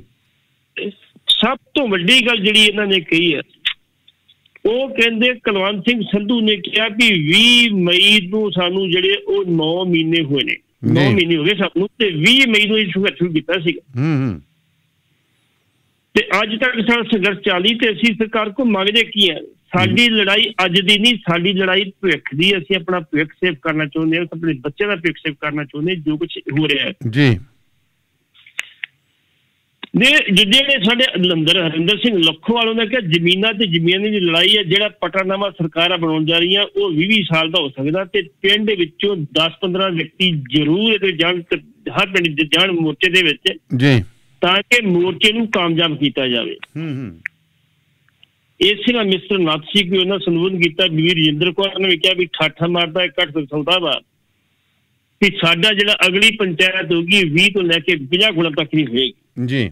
ਜੋਗਿੰਦਰ ਸਿੰਘ ਰਗੋਰਾਹਾ ਨੇ ਬੜੀ ਤਰੀਕੇ ਤੇ ਸਲੀਕੇ ਨਾਲ ਗੱਲ ਕੀਤੀ ਵੀ ਅਸੀਂ ਆਪਣੀ ਆਵਾਜ਼ ਬੁਲੰਦ ਕਰਦੇ ਤੇ ਇਸ ਜਿਹੜੀ ਸਾਡੀ ਆਵਾਜ਼ ਬੁਲੰਦ ਕੀਤੀ ਹੈ ਸਾਡੇ ਜਿਹੜੇ ਮੋਰਚੇ ਆ ਇਹ ਸਿਰਫ ਤੇ ਸਿਰਫ ਕਿਸਾਨੀ ਜਿਹੜੀਆਂ ਮੰਗਾਂ ਨੇ ਉਹ ਨਹੀਂ। ਉਦੋਂ ਇਲਾਵਾ ਸਾਡੀ ਲੱਚਰ ਗਾਇਕੀ ਤੇ ਜਿਹੜਾ ਨਸ਼ਿਆਂ ਦਾ ਕਿਹਾ ਜੇ ਨੌਜਵਾਨ ਨਸ਼ਿਆਂ ਨੂੰ ਦੂਰ ਕੀਤਾ ਹੈ, ਹੂੰ ਇਹ ਵੀ ਇੱਕ ਸਾਡਾ ਪਲੱਸ ਪੁਆਇੰਟ ਰਿਹਾ। ਜੀ ਉਹਨਾਂ ਕਿਹਾ ਵੀ ਅੱਜ ਦੀ ਡੇਟ ਦੇ ਵਿੱਚ 2 ਲੱਖ ਪਰਿਵਾਰ ਆਪਣੀਆਂ ਜ਼ਮੀਨਾਂ ਵੇਚ ਕੇ ਵਿਹਲਾ ਹੋ ਗਿਆ ਤੇ ਜੇ ਨਵੇਂ ਕਾਨੂੰਨ ਲਾਗੂ ਹੋ ਗਏ ਤੇ 86 ਫਿਰ ਜਿਹੜੇ ਬਾਕੀ ਰਹਿ ਗਏ ਉਹ ਵੀ ਵੇਚ ਕੇ ਪਾਸੇ ਹੋ ਜਾਣ ਜੀ। ਇਸ ਕਰਕੇ ਇਹ ਜਿਹੜੀ ਸਰਕਾਰ ਆ ਬੀਜੇਪੀ ਸਰਕਾਰ ਜਿਹੜੀ ਹੈ ਉਹ ਪੰਜਾਬ ਦੇ ਲੋਕਾਂ ਦੇ ਹੱਥ ਵਿੱਚ ਠੂਠਾ ਪਾਉਣਾ ਚਾਹੁੰਦੀ ਹੈ ਲੇਕਿਨ ਜਿਹੜੇ ਪੰਜਾਬ ਦੇ ਲੋਕ ਠੂਠਾ ਪੜਨ ਗਿੱਜੇ ਜੀ ਜੀ। ਇਹ ਮੰਗਣ ਨਹੀਂ ਗਿੱਜੇ ਦੇਣ ਗਿੱਜੇ ਆ। ਹੂੰ ਹੂੰ ਹੂੰ। ਇਸ ਕਰਕੇ ਆਪਣੇ ਹੱਕ ਜਿੱਦਾਂ ਮਰਜ਼ੀ ਹੋਵੇ ਜਿੰਨਾ ਚਿਰ ਮਰਜ਼ੀ ਲੱਗੇ ਅਸੀਂ ਨਹੀਂ ਆਵਾਂਗੇ ਜਿੰਨਾ ਚਿਰ ਸਾਨੂੰ ਸਾਡੀਆਂ ਮੰਗਾਂ ਪੂਰੀਆਂ ਨਹੀਂ ਹੋ ਜਾਂਦੀਆਂ ਉੱਥੋਂ ਜੀ। ਜੀ। ਸੋ ਚੰਗੀ ਜਿਹੜੇ ਸਾਡੇ ਅਮਰਜੀਤ ਸਿੰਘ ਹੈਗੇ ਨੇ ਕਿਸਾਨ ਮਜ਼ਦੂਰ ਸੰਘਰਸ਼ ਕਮੇਟੀ ਵਾਲੇ ਉਹਨਾਂ ਨੇ ਕਹੀ ਆ ਵੀ ਉਹਨਾਂ ਕਿਹਾ ਵੀ 30 ਕਿਲੋ ਵਾਲਾ ਆਟਾ ਜਿਹੜਾ ਸਾਨੂੰ 100 ਰੁਪਏ ਕਿਲੋ ਮਿਲੇਗਾ ਮੁੜ ਕੇ। ਉਹਦਾ ਨਾ ਵੱਧ ਹੀ ਮਿਲੂਗਾ ਜੀ ਕਿਉਂ 30 ਕਿਲੋ ਵਾਲਾ 100 ਬਿਲਕੁਲ। ਹੂੰ ਹੂੰ। ਹੂੰ ਹੂੰ। ਤੇ ਉਦੋਂ ਬਾਅਦ ਆਪਾਂ ਚੱਲਦੇ ਰਾਜੇ ਸਾਹਿਬ ਵੱਲ ਰਾਜੇ ਸਾਹਿਬ ਵੱਲ ਜਿਹੜੇ। ਮੇਨ ਉੱਥੋਂ ਦੇ ਗੈਸਟ ਸੀ ਅੱਜ। ਹੂੰ ਹੂੰ। ਉਹਨਾਂ ਦੀ ਕਰੀਬ ਕਰੀਬ 50 52 ਮਿੰਟ ਦੀ ਸਪੀਚ ਆ ਜਿਹਦੇ ਵਿੱਚ ਉਹਨਾਂ ਨੇ ਕਾਫੀ ਗੱਲਾਂ ਕੀਤੀਆਂ ਉਹ ਬਾਕੀ ਦੀ ਗੱਲਾਂ ਸਾਰੀਆਂ ਉਹੀ ਆ। ਜੀ। ਉਹਨਾਂ ਨੇ ਇੱਕ ਬੜੀ ਵਧੀਆ ਗੱਲ ਕੀਤੀ ਹੈ ਹੂੰ ਹੂੰ। ਉਹ ਕਹਿੰਦੇ ਵੀ ਇੱਕ ਵਾਰੀ ਇੱਥੇ ਇੱਕ ਮੀਟਿੰਗ ਹੋਈ ਸੀ ਉਹਦੇ ਵਿੱਚ ਸਾਨੂੰ ਬੁਲਾਇਆ ਗਿਆ ਬੁਲਾਉਣ ਤੋਂ ਬਾਅਦ ਸਾਡੀ ਗੱਲ ਨਹੀਂ ਸੁਣੀ ਇਹਨਾਂ ਨੇ। ਜੀ। ਅਸੀਂ ਤਿੰਨ ਸਟੇਟਾਂ ਦੇ ਜਿਹੜੇ ਸੀ ਆਗੂ ਬੈਠੇ ਸੀ ਉੱਥੇ ਤੇ ਇਹਨਾਂ ਦਾ ਮਤਲਬ ਇਹ ਸੀ ਵੀ ਅਸੀਂ ਇਹਨਾਂ ਨੂੰ ਚੁੱਪ ਕਰਕੇ ਭਾਸ਼ਾ ਦਈਏ ਤੇ ਇਹਨਾਂ ਨੂੰ ਸਾਈਨ ਕਰਾ ਲਈਏ ਵੀ ਜੋ ਕਰਤਾ ਠੀਕ ਕਰ ਦਿੱਤਾ। ਜੀ। ਕਿਉਂਕਿ ਉਸ ਮੀਟਿੰਗ ਦੇ ਵਿੱਚ ਕੀ ਕਿਹਾ ਗਿਆ ਸੀ? ਕਹਿੰਦੇ ਉਹਦੇ ਵਿੱਚ ਜਿਹੜੇ ਸੀ ਪ੍ਰਾਈਵੇਟ ਕੰਪਨੀ ਦੇ ਸੀਓ ਬੈਠੇ ਸੀ ਸਰਕਾਰੀ ਅਧਿਕਾਰੀ ਬੈਠੇ ਸੀ ਅਸੀਂ ਬੈਠੇ ਸੀ। ਹੂੰ ਹੂੰ। ਜਦੋਂ ਉੱਥੇ ਉਹਨਾਂ ਕਹਿਤਾ ਜਿਹੜਾ ਸੀਓ ਸੀ ਸਰਕਾਰੀ ਅਧਿਕਾਰੀਆਂ ਆਪਣੀ ਗੱਲ ਕੀਤੀ ਜਿਹੜੇ ਸੀਓ ਸੀ ਇੱਕ ਉੱਠ ਕੇ ਬੋਲਿਆ ਕਹਿੰਦਾ ਜੀ ਸਾਨੂੰ 5 5 7 ਹਜ਼ਾਰ ਦੇ ਕਲਸਟਰ ਬਣਾ ਦਿਓ ਜ਼ਮੀਨਾਂ ਦੇ। ਜੀ। ਤੇ ਸਾਨੂੰ 50 50 ਸਾਲ ਦਾ ਪੱਟਾ ਲੱਖੇ ਲਿਖਾ ਕੇ ਦੇ ਦਿਓ ਅਸੀਂ ਦੇ ਜੋ ਕਿਸਾਨਾਂ ਦਾ ਮੁੱਲ ਬਣਦਾ ਦੇ ਦੇਗੇ ਸਾਨੂੰ। ਅੱਛਾ ਜੀ। ਉਹ ਸਾਨੂੰ ਦੇ ਦਿਓ। ਕਹਿੰਦਾ ਜੀ ਮੈਂ ਉਹਨਾਂ ਨੂੰ ਕਿਹਾ ਮੈਂ ਬੋਲਣਾ ਉਹਦੇ ਮੈਨੂੰ ਕਹਿੰਦੇ ਵੇਟ ਕਰ ਲਓ ਜੀ ਵੇਟ ਕਰ ਲਓ ਵੇਟ ਕਰ ਲਓ। ਅੱਧਾ ਘੰਟਾ ਮੀਟਿੰਗ 'ਚ ਰਹਿ ਗਿਆ। ਅੱਛਾ ਜੀ। ਕਹਿੰਦੇ ਫਿਰ ਮੈਂ ਉੱਠਿਆ ਮੈਂ ਫਿਰ ਬੂਹੇ ਦੀ ਜਿਹੜੀ ਕੁੰਡੀ ਲਾਤੀ। ਹੂੰ। ਤੇ ਉੱਠ ਕੇ ਮੈਂ ਨਿਕਲ ਗਿਆ ਵੀ ਆਹ ਜਿਹੜੀ ਕੁੰਡੀ ਲੱਗੀ ਹੈ ਨਾ ਜੀ। ਹੁਣ ਤੁਸੀਂ ਮੈਨੂੰ ਕੁੱਟ ਕੇ ਮਾਰ ਕੇ ਧੱਕੇ ਮਾਰ ਕੇ ਬਾਹਰ ਜਾ ਸਕਦੇ ਹੋ ਮੇਰੀ ਪੱਗ ਪੁੱਗ ਲਾ ਕੇ ਲੇਕਿਨ ਮੈਂ ਤੁਹਾਨੂੰ ਬਾਹਰ ਨਹੀਂ ਜਾਣ ਦਿੰਦੇ ਜੇ ਸਾਡੀ ਗੱਲ ਨਾ ਸੁਣੀ। ਹੂੰ ਹੂੰ। ਕਹਿੰਦੇ ਫਿਰ ਉਹ ਧੱਕੇ ਨਾਲ ਗੱਲ ਸੁਣੀ ਫਿਰ 3 ਘੰਟੇ ਮੀਟਿੰਗ ਉਹ ਹੋਰ ਚੱਲੀ ਤੇ ਅਸੀਂ ਦੱਸਿਆ ਵੀ ਤੁਸੀਂ ਚਾਹੁੰਦੇ ਕਿਉਂ ਤੇ ਅਸੀਂ ਹੋਣ ਨਹੀਂ ਦੇਣਾ। ਜੀ। ਉਹ ਕਹਿੰਦੇ ਵੀ ਜਿਹੜੀਆਂ ਫਰਵਰੀ 2020 ਦੇ ਵਿੱਚ ਮੈਂ ਸਿਆਸੀ ਪਾਰਟੀਆਂ ਸਾਰੀਆਂ ਨੂੰ ਬੁਲਾਇਆ ਤੇ ਮੈਂ ਜਿੰਨੇ ਵੀ ਡਾਕੂਮੈਂਟਸ 2017 ਸ਼ੁਰੂ ਕੀਤੀ ਵੇ ਇਹਨਾਂ ਨੇ ਹੂੰ ਹੂੰ। ਸਾਰੇ ਇਕੱਠੇ ਕੀਤੇ। ਜਿਹੜੀਆਂ ਮੀਟਿੰਗਾਂ ਦੇ ਸੀ ਉਹ ਵੀ ਇਕੱਠੇ ਕੀਤੇ ਜਿਹੜੇ ਮੰਤਰਾਲੇ ਦੇ ਸੀ ਵੀ ਇਕੱਠੇ ਕੀਤੇ ਸਰਕਾਰ ਦੇ ਖਰੇ ਇਕੱਠੇ ਜੀ। ਉਹ ਮੀਟਿੰਗ ਮੈਂ ਕਿਸਾਨ ਭਵਨ ਬੁਲਾਈ ਮੈਂ ਕਿਹਾ ਉਹ ਆਪਾਂ ਗੱਲ ਕਰੀ ਜੋ ਗੱਲ ਕੀਤੀ ਤੇ ਮੈਂ ਸਾਰਿਆਂ ਨੂੰ ਕਾਗਜ਼ ਦਿੱਤੇ ਫੁਰਸਤ ਕਰਾ ਕੇ ਤੁਸੀਂ ਪੜੋ ਹੂੰ ਹੂੰ। ਤੇ ਜਾਖੜ ਸਾਹਿਬ ਕਾਂਗਰਸ ਦੇ ਪ੍ਰਧਾਨ ਸੀਗੇ ਪੰਜਾਬ ਦੇ ਤੇ ਮੈਂ ਉਹਨਾਂ ਨੂੰ ਕਿਹਾ ਜਾਖੜ ਸਾਹਿਬ ਤੁਸੀਂ ਦੱਸੋ ਕਹਿੰਦੇ ਜੀ ਬੇੜਾ ਗਰਕ ਹੋ ਜਾਏਗਾ ਜਾਖੜ ਨੇ ਪਹਿਲਾਂ ਕਿਹਾ ਵੀ ਜਿਹੜੀ ਐਮਐਸਪੀ ਗਈ। ਜੀ। ਜਦੋਂ ਪੋਲੀਟੀਕਲ ਪਾਰਟੀ ਉਦੋਂ ਮੰਨਦੀਆਂ ਤੇ ਫਿਰ ਖਲੋਤੀ ਵੀ ਕੋਈ ਨਹੀਂ ਉੱਥੇ। ਹੂੰ ਹੂੰ ਹੂੰ। ਕਿਉਂ ਸਾਨੂੰ ਮੋਰਚਾ ਲਾਉਣਾ ਪਿਆ? ਜੀ। ਅਸੀਂ ਤੇ ਆਪਣੀ ਗੱਲ ਕੀਤੀ ਸੀ ਕੁੰਡੀ ਲਾ ਕੇ ਕਹਿਤਾ ਵੀ ਅਸੀਂ ਆਪਣੀ ਗੱਲ ਕੀਤੀ ਮਗਰ ਜਾਵਾਂਗੇ ਨਹੀਂ ਇੱਥੋਂ ਜੀ। ਜਦੋਂ ਗੱਲ ਕੀਤੀ ਸਾਰਿਆਂ ਦੇ ਹੋ ਛੁੱਟ ਗਏ ਵੀ ਜੋ ਤੁਸੀਂ ਚਾਹੁੰਦੇ ਅਸੀਂ ਨਹੀਂ ਹੋਣ ਦੇਣਾ ਉਹ। ਹਾਂ, ਹਾਂ। 2017 ਦੀ ਗੱਲ ਆ। ਜੀ ਜੀ ਜੀ। ਹੁਣ ਉਹਨਾਂ ਨੇ ਇਹ ਵੀ ਨਾਲ ਗਈ ਜਿਹੜੇ ਜਿਹੜੇ ਜਦੋਂ ਇਹਨਾਂ ਨੇ ਕੀਤਾ ਵੀ ਇਹਦੇ ਤੇ ਕਮੇਟੀ ਬਣਾਈ ਇੱਕ ਇੱਕ ਕਮੇਟੀ ਬਣਾਈ ਇੱਕ ਕਮੇਟੀ ਬਣਾ ਕੇ ਜਿਹੜਾ ਵਾ ਉਹ ਆਪਾਂ ਨਿਯਮ ਸ਼ੁਰੂ ਕਰੀਏ। ਜੀ। ਤੇ ਬਲਵਿੰਦਰ ਸਿੰਘ ਭੁੰਦੜ ਬੈਠੇ ਸੀ ਕਹਿੰਦਾ ਬੇਂਡੀ ਇਹਦਾ ਮੈਨੂੰ ਪਾਓ ਅਗਲੇ ਪਾਸੇ ਦੀ ਅੱਛਾ ਬਿੰਡੀ ਮੈਨੂੰ ਪਾਓ ਕਹਿੰਦਾ। ਬੇਂਡੀ ਮੈਨੂੰ ਪਾਓ। ਹੂੰ। 24 ਫਰਵਰੀ 2020 ਨੂੰ ਜਿਹੜੀ ਪਰੇਡ ਕੀਤੀ ਹੋਈ ਹੈ ਤੇ ਮੁੜ ਕੇ 5 ਚੀਜ਼ ਨੂੰ ਆਰਡੀਨੈਂਸ ਜਾਰੀ ਹੋ ਗਈ ਮੁੜ ਕੇ ਸਭ ਗੁੰਮਸਮ ਹੋ ਗਏ ਮੁੜ ਕੇ ਅਸੀਂ ਲੜਦੇ ਨੇ ਮੁੜ ਕੇ ਪੋਲੀਟੀਕਲ ਲੀਡਰ ਕੋਈ ਨਹੀਂ ਲੜਿਆ। ਜੀ। ਬੇਂਡੀ ਵੀ ਚਲੇ ਗਏ ਸਾਰੇ ਚਲੇ ਗਏ ਮੁੜ ਕੇ ਕਿਸੇ ਨੇ ਸਾਨੂੰ ਪੁੱਛਿਆ। ਹੂੰ ਹੂੰ। ਉਹ ਕਹਿੰਦੇ ਵੀ ਹੁਣ ਵੇਖੋ ਉਹਨਾਂ ਨੇ ਇਹ ਗੱਲ ਕਹੀ ਕਿ 1977 ਦੇ ਜਗਦੇਵ ਸਿੰਘ ਤਲਵੰਡੀ ਸੀ ਜਦੋਂ ਜੀ। ਉਹ ਗਏ ਸੀ ਪਾਰਲੀਮੈਂਟ ਦੇ ਵਿੱਚ। ਹੂੰ ਹੂੰ। ਜਿਹੜੀਆਂ ਇਹਨਾਂ ਨੂੰ ਅਸੀਂ ਫਸਲਾਂ ਵੇਚਣ ਦੀ ਇਜਾਜ਼ਤ ਦੀ ਗੱਲ ਕਰਦੇ ਨੇ ਜਿਹੜੀ ਇਜਾਜ਼ਤ ਦਿੱਤੀ ਹੈ ਤੁਸੀਂ ਵੀ ਇੱਕ ਸਟੇਟ ਤੋਂ ਦੂਜੀ ਸਟੇਟ ਦੇ ਸਕਦੇ ਹੋ। ਜੀ। ਉਹ ਕਹਿੰਦੇ ਉਸ ਤੋਂ ਪਹਿਲਾਂ ਸਾਨੂੰ ਇਜਾਜ਼ਤ ਨਹੀਂ ਹੁੰਦੀ ਸੀ ਤੇ ਅਸੀਂ 5-5 ਕਿਲੋ ਕਣਕ ਸਿਰ ਤੇ ਰੱਖ ਕੇ ਨਾ ਜਿਹੜੀ ਫਸਲ ਸਿਰ ਤੇ ਰੱਖ ਕੇ ਤੇ ਹਿਮਾਚਲ 'ਚ ਵੜਦੇ ਸੀ ਵੇਚਣ ਵਾਸਤੇ ਸਾਨੂੰ ਉੱਥੇ ਪੁਲਿਸ ਫੜ ਕੇ ਤੇ ਜੇਲ੍ਹ ਭੇਜੇ ਜੇਲ੍ਹ ਭੇਜਦੇ। 40 40 40 ਦਿਨ ਸੀ ਜੇਲ੍ਹ ਕੱਟੀ ਆ। ਹੂੰ। ਤੇ ਜਦੋਂ ਜਗਦੇਵ ਸਿੰਘ ਤਲੰਡੀ ਉਹਦੇ ਐਮਪੀ ਬਣਿਆ ਤੇ ਫਿਰ ਇਹਨਾਂ ਨੂੰ ਅਸੀਂ ਕਿਹਾ ਤੇ ਇਹਨਾਂ ਮੁੱਦਾ ਬੜੇ ਜ਼ੋਰ ਛੋਟਾ ਠਾ ਕੇ ਤੋਂ ਸਾਡੀ ਮੰਗ ਬਣਾਈ ਸੀ ਵੀ ਨਹੀਂ ਕਿਸਾਨ ਜਿੱਥੇ ਚਾਹੇ ਆਪਣੀ ਫਸਲ ਵੇਚ ਸਕਦਾ। ਇਹ ਕਿਵੇਂ ਕਹਿੰਦੇ ਅੱਜ ਨੇ ਹਾਂ ਹਾਂ। ਇਹ ਹੱਕ ਤਾਂ ਸਾਨੂੰ 1977 ਚ ਮਿਲ ਗਿਆ ਸੀਗਾ। ਜੀ। ਇਹ ਅੱਜ ਕਹਿ ਅੱਜ ਕਹਿ ਰਹੇ ਤੁਹਾਨੂੰ ਅੱਜ ਅੱਜ ਨੇ। ਨਹੀਂ ਇਹ ਇਹੀ ਤਾਂ ਮਿਸਗਾਈਡ ਕਰੀ ਜਾਂਦੇ ਆ ਨਾ ਇਹ ਤਾਂ ਕਦੋਂ ਦਾ ਮਿਲਿਆ ਵੇ Misguide ਕਰੀ ਹਾਂਜੀ। ਹੂੰ। ਉਹਨਾਂ ਦਾ ਅੱਜ ਬੜਾ ਬੜੇ ਬੜੇ ਨਾ ਵਿਸਤਾਰ ਨਾਲ ਬੋਲੇ ਖੁੱਲ ਕੇ ਬੋਲੇ ਨੇ ਉਹ। ਉਹਨਾਂ ਫਿਰ ਇਹ ਗੱਲ ਕਹੀ ਵੀ ਜਿਹੜਾ ਮਾਡਲ ਕਹਿੰਦੇ ਇਹਨਾਂ ਅਧਿਕਾਰੀਆਂ ਨੂੰ ਮੈਂ ਮੀਟਿੰਗ 'ਚ ਕਹਿ ਚੁੱਕਾ ਵੀ ਜਿਹੜਾ ਮਾਡਲ ਤੁਸੀਂ ਲਾਗੂ ਕਰਨਾ ਚਾਹੁੰਦੇ ਹੋ ਇਹ ਬਿਲਕੁਲ ਅਮਰੀਕਾ 'ਚ ਫੇਲ ਚੁੱਕਾ ਜੀ। ਜਿਹੜੇ ਵਿਕਾਸਸ਼ੀਲ ਦੇਸ਼ ਬਿਲਕੁਲ ਫੇਲ ਫੇਲ ਫੇਲ ਫੇਲ ਚੁੱਕਾ ਵਾ। ਤੁਸੀਂ ਸਾਨੂੰ ਇਹ 'ਚ ਕਿਉਂ ਪਾ ਰਹੇ ਹੋ ਤੁਸੀਂ? ਜੀ। ਇਹ ਤੁਸੀਂ ਪਾਪ ਨਾ ਕਰੋ। ਉਹ ਕਹਿੰਦੇ ਜੀ ਜਦੋਂ ਅਸੀਂ ਮੀਟਿੰਗ ਕਰਦੇ ਆ ਮੀਟਿੰਗ ਦੇ ਵਿੱਚ ਅਸੀਂ ਜਾ ਕੇ ਦੱਸਦੇ ਵੀ ਇਹ ਜਿਹੜੀ ਕਲੌਜ਼ ਆ ਇਹ ਐਕਸੈਪਸ਼ਨ ਦੀ ਇਹਦੇ ਤੁਸੀਂ ਨਹੀਂ ਕਰ ਸਕਦੇ। ਜੀ। ਕਹਿੰਦੇ ਜਦੋਂ ਅਸੀਂ ਇੱਕ ਇੱਕ ਮੁੱਦੇ ਤੇ ਗੱਲ ਕੀਤੀ ਸਾਰੇ ਦੱਸਿਆ ਵੀ ਇਹ ਗੱਲ ਹੈਗੀ ਅਫਸਰ ਕਹਿੰਦੇ ਠੀਕ ਹੈ ਜੀ ਸੁਧ ਕਰ ਦੇਂਗੇ ਸੁਧ ਕਰ ਦੇਂਗੇ ਜਿੰਨੀਆਂ ਨਾ ਗੱਲਾਂ ਕੀਤੀਆਂ ਸਾਰੀਆਂ 'ਚ ਡਿਫੈਕਟ ਨਿਕਲਿਆ ਤੇ ਸੋਧ ਕਰ ਦੇਂਗੇ ਜੀ। ਤੇ ਉਹ ਕਹਿੰਦੇ ਜੀ ਫਿਰ ਤੁਹਾਡਾ ਮਤਲਬ ਇਹ ਆ ਵੀ ਜੇ ਅੱਜ ਤੁਸੀਂ ਅੱਜ ਅਸੀਂ ਤੁਹਾਡੇ ਇੱਕ ਤੁਹਾਡੀ ਗੱਲ ਮੰਨ ਲਈ ਅੱਜ। ਹੂੰ ਹੂੰ। ਕਹਿੰਦੇ ਇੱਕ ਸੀਨੀਅਰ ਮੰਤਰੀ ਮੈਂ ਕਿਹਾ ਸ਼ਾਇਦ ਹੋਮ ਮਿਨਿਸਟਰ ਹੋਵੇ ਜਿਹਨੇ ਗੱਲ ਕੀਤੀ ਉਹਨੇ ਵੀ ਉਹਨੇ ਵੀ ਉਹ- ਉਹਨੇ ਵੀ ਤੁਹਾਡੀ ਗੱਲ ਅਸੀਂ ਮੰਨ ਲਈਏ ਜੀ। ਤੇ ਇਹਦਾ ਮਤਲਬ ਇਹ ਆ ਵੀ ਕੱਲ ਨੂੰ ਜਿਹੜੇ ਲੇਬਰ ਦੇ ਸੀ ਨੇ ਪਾਸ ਕੀਤੇ ਬਾਕੀ ਕਾਨੂੰਨ ਪਾਸੇ ਵੀ ਆ ਜਾਣਗੇ। ਹੂੰ ਹੂੰ। ਕਹਿੰਦਾ ਮੈਂ ਕਿਹਾ ਤੁਸੀਂ ਸੋਚਦੇ ਮੈਂ ਗਲਤ ਪਾਸ ਕੀਤੇ। ਹਾਂ। ਇਹ ਤੁਸੀਂ ਖੋਜ ਸੋਚਦੇ ਹੋ ਗਲਤ ਪਾਸ ਕੀਤੇ ਮਾਰ ਜੀ ਸਾਰੇ ਰੱਦ ਕਰ ਦਿਓ। ਜੀ। ਤੁਹਾਡੇ ਪਾਪ ਦੂਰ ਹੋ ਜਾਣਗੇ ਗੰਗਾ ਲਾ ਦੋਗੇ ਤੁਸੀਂ। ਆਪ ਹੀ ਸੋਚ ਲਓ ਵੀ ਕੀ ਕੁਝ ਕੀਤਾ ਹੈ। ਆਪ ਹੀ ਸੋਚੋ। ਤਾਲਾਬੰਦੀ ਦੇ ਵਿੱਚ ਗੱਲ ਸੁਣੋ ਤਾਲਾਬੰਦੀ ਦੇ ਵਿੱਚ ਇੱਕ ਬੰਦੇ ਲੋਕ ਤਾਂ ਨੰਗ ਹੋ ਗਏ ਤੇ ਇੱਕ ਬੰਦਾ 35% ਅਮੀਰ ਹੋ ਗਿਆ ਦੱਸੋ। ਜੀ ਜੀ। ਹੈ? ਉਹ ਕਹਿੰਦੇ ਜੀ ਇੱਥੇ ਦਾਲ 'ਚ ਕਾਲਾ ਨਹੀਂ ਇਹ ਸਾਰੀ ਦਾਲ ਹੀ ਕਾਲੀ ਹੈ ਦਾਲ ਹੀ ਸਾਨੂੰ ਬਦਲਣੀ ਪੈਣੀ ਹੈ ਇਹ ਨਹੀਂ ਕਿਤੇ ਦਾਲ 'ਚ ਕੋੜਕੂ ਕੱਢਦੀ ਕੋੜਕੂ ਨਹੀਂ ਨਿਕਲਣੇ ਨਹੀਂ ਹੈ ਹੀ ਕੋੜਕੂ ਕੋੜਕੂਆਂ ਦੀ ਦਾਲ ਬਣੀ ਹੈ ਕਿਤੇ ਹੂੰ। ਅਸੀਂ ਇਸੇ ਕਰਕੇ ਅੜਿਆ ਵੀ ਭਾਈ ਤੁਸੀਂ ਆ ਜਿਹੜੇ ਗੱਲ ਕਰਦੇ ਹੋ ਇਹਨਾਂ ਦੀ ਕਾਨੂੰਨਾਂ ਦੀ ਗੱਲ ਕਰਦੇ ਹੋ, ਕਾਨੂੰਨ ਤੁਹਾਡੇ ਬਿਲਕੁਲ ਗਲਤ ਹੈ ਅਸੀਂ ਰੱਦ ਦੀ ਕਰਦੇ ਰਿਪੀਲ ਦੀ ਗੱਲ ਕਰਦੇ ਜੀ। ਉਹ ਕਹਿੰਦੇ ਜੀ ਸਾਨੂੰ ਰਿਪੀਲ ਦੇ ਕੇ ਕੋਈ ਹੋਰ ਸ਼ਬਦ ਦੇ ਦਿਓ। ਹੂੰ। ਕਹਿੰਦੇ ਦੇ ਦਿੰਦੇ ਜੀ। ਕਹਿੰਦੇ ਮੁੜ ਕੇ ਉਸ ਗੱਲ ਤੋਂ ਭੱਜ ਗਏ ਨਹੀਂ ਜੀ ਰਿਪੀਲ ਨਹੀਂ ਕਰਨੇ ਅਸੀਂ। ਹੂੰ ਹੂੰ। ਰੱਦ ਨਹੀਂ ਕਰਨੇ ਅਸੀਂ। ਆ ਤੁਹਾਨੂੰ ਡੱਬਾ ਦਿੱਤਾ ਜੋ ਪੋਣਾ ਪਾ ਲਓ ਲੇਕਿਨ ਇਹਦਾ ਬਾਹਰ ਹਿੱਸਾ ਰਹਿਣ ਦਿਓ ਅੰਦਰਲਾ ਹਿੱਸਾ ਜੋ ਤੁਸੀਂ ਕਰਨਾ ਕਰ ਲਓ ਤੁਸੀਂ। ਜੀ। ਉਹ ਕਹਿੰਦੇ ਸਾਨੂੰ ਮਨਜ਼ੂਰ ਨਹੀਂ। ਕਹਿੰਦੇ ਜਦੋਂ ਇਹਨਾਂ ਸਾਡੀ ਗੱਲ ਨਹੀਂ ਸੁਣੀ ਕਿਉਂਕਿ ਇਹਨਾਂ ਨੂੰ ਇਹ ਸੀ ਵੀ ਇਹਨਾਂ ਨੂੰ ਕਿਸੇ ਗਾਈਡ ਕੀਤਾ ਸੀ ਵੀ ਜਿਹੜੇ 75% ਕਿਸਾਨ ਆ ਨਾ ਪੰਜਾਬ ਦੇ ਹੂੰ ਹੂੰ। ਉਹ ਮਸਾ ਦਸਵੀਂ ਬ- ਦਸ- ਦਸਵੀਂ ਜਮਾਤ ਤੱਕ ਮਸਾ ਹੀ ਪੜ੍ਹੇ। ਮਸਾਂ ਜੀ ਬਹੁਤ ਜ਼ਿਆਦਾ ਮਿਸਗਾਈਡ ਕੀਤਾ ਵੈਸੇ। ਤੇ ਬਹੁਤੇ ਜਿਹੜੇ ਅਨਪੜ੍ਹ ਨੇ ਤੇ ਉਹਨਾਂ ਨੂੰ ਇਹ ਨਹੀਂ ਪਤਾ ਕਿ ਵਿਦਵਾਨ ਬੈਠੇ ਆ। ਹੂੰ ਹੂੰ ਹੂੰ। ਇਹ ਅੰਗਰੇਜ਼ੀ ਦੀ ਇੱਕ ਲਾਈਨ ਬੋਲਦੇ ਕਿ ਚਾਰ ਬੋਲਦੇ ਚਾਰ ਬੋਲਦੇ ਸੀ ਨਾ ਇਹ ਬੜਾ ਵਹਿਮ ਹੁੰਦਾ ਹੈ। ਜੇ ਬਹਿਨ ਹੁੰਦਾ। ਉੱਥੋਂ ਫਿਰ ਕਹਿੰਦੇ ਫਿਰ ਅਸੀਂ ਕੀਤਾ ਵੀ ਯੈਸ ਔਰ. ਨੋ ਅਸੀਂ ਕਿਹਾ ਵੀ ਤੁਸੀਂ ਰਿਪੀਲ ਕਰਨੇ ਕਿ ਨਹੀਂ ਕਰਨੇ ਫਿਰ ਮੂੰਹ ਤੇ ਪੱਟੀਆਂ ਬੰਨੀਆਂ ਤੇ ਛਾਪਣੇ ਫੜ ਕੇ ਬਿੱਲ ਕਾਰਡ ਪਲੇ ਕਾਰਡ ਕੇ ਲੈ ਕੇ ਬਹਿ ਕੇ ਵੀ ਆਹ ਸਾਡੀ ਆ ਮੰਗੇਗੀ। ਜੀ। ਇਹ ਆਉਂਦੇ ਸੀ 10 ਮਿੰਟ ਗੱਲ ਕਰਦੇ ਸੀ ਮੁੜ ਕੇ ਚਾਹ ਪੀ ਲਈਏ ਜੀ ਰੋਟੀ ਖਾ ਲਈਏ ਜੀ ਅਸੀਂ ਮੈਂ ਗੱਲ ਕਰਵਾ ਜੀ ਫਲਾਣੇ ਦਾ ਫੋਨ ਆ ਗਿਆ ਢਿੰਗੜੇ ਦਾ ਫੋਨ ਆ ਗਿਆ ਫੋਨ ਸੁਣਦੇ ਰਹਿੰਦੇ ਸੀ। ਸਾਡੀ ਗੱਲ ਤਾਂ ਸੁਣੀ ਨਹੀਂ ਉਹਨਾਂ ਨੇ। ਹਾਂ ਹਾਂ। ਇਸ ਕਰਕੇ ਉਹ ਕਹਿੰਦੇ ਵੀ ਜਦੋਂ ਇੰਦਰਾ ਗਾਂਧੀ ਦਾ ਰਾਜ ਸੀ ਉਦੋਂ ਦੁੱਧ ਦਾ ਇੱਕ ਰੇੜਕਾ ਚੱਲਿਆ ਸੀਗਾ। ਜੀ। ਕਹਿੰਦੇ ਉਦੋਂ ਅਸੀਂ ਕਿਸਾਨਾਂ ਕਿਸਾਨ ਜਿੱਥੇ ਬੰਦੀਆਂ ਨੇ ਦੁੱਧ ਦਾ ਰੇੜਕਾ ਜਿਹੜਾ ਉਹਨੂੰ ਭੁਰਕੀ ਦੇ ਕੇ ਮੰਨਦਾ ਸੀ ਇੰਦਰਾ ਗਾਂਧੀ। ਉਹ ਮੰਨ ਗਈ ਸੀ ਠੀਕ ਹੈ ਤੁਸੀਂ ਠੀਕ ਹੈ ਤੁਹਾਨੂੰ ਮੈਂ ਤੁਹਾਡਾ ਪੰਗਾ ਨਹੀਂ ਜੀ। ਉਹ ਕਹਿੰਦੇ ਮੋਦੀ ਬੜਾ ਬੇਈਮਾਨ ਜੇ। ਹੂੰ। ਇਹਨੇ ਇਹਦੀ ਆਂਦੇ ਕਿ ਇੱਕ ਜਿਹੜੀ ਆਈ ਸੀ ਸਰਵੇ ਦੀ ਰਿਪੋਰਟ ਆਈ ਸੀ। ਜੀ। ਉਹਦੇ ਵਿੱਚ ਉਹ ਕਹਿੰਦਾ ਵੀ ਇਹ 58 ਵਾਰੀ ਇੱਕ ਦਿਨ ਝੂਠ ਬੋਲਦਾ। ਦੱਸੋ। ਇੱਕ ਸਰਵੇ ਆਇਆ ਜੀ 58 ਵਾਰੀ ਝੂਠ ਬੋਲਦਾ ਵਾ।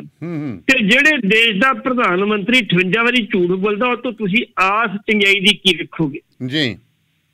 ਉਹਨੇ ਕਿਹਾ ਵੀ ਸਾਨੂੰ ਇਹ ਇਹੋ ਜਿਹਾ ਸਾਨੂੰ ਨੇ ਗਾਲਾਂ ਕੱਢੀਆਂ ਕੱਲ। ਹੂੰ ਹੂੰ। ਗਾਲਾਂ ਕੱਢੀਆਂ ਸਾਨੂੰ ਇਹਨੇ ਕੀੜੇ ਕਿਹਾ ਗੰਦ ਦੇ ਕੀੜੇ ਤੱਕ ਗਿਆ ਨੇ।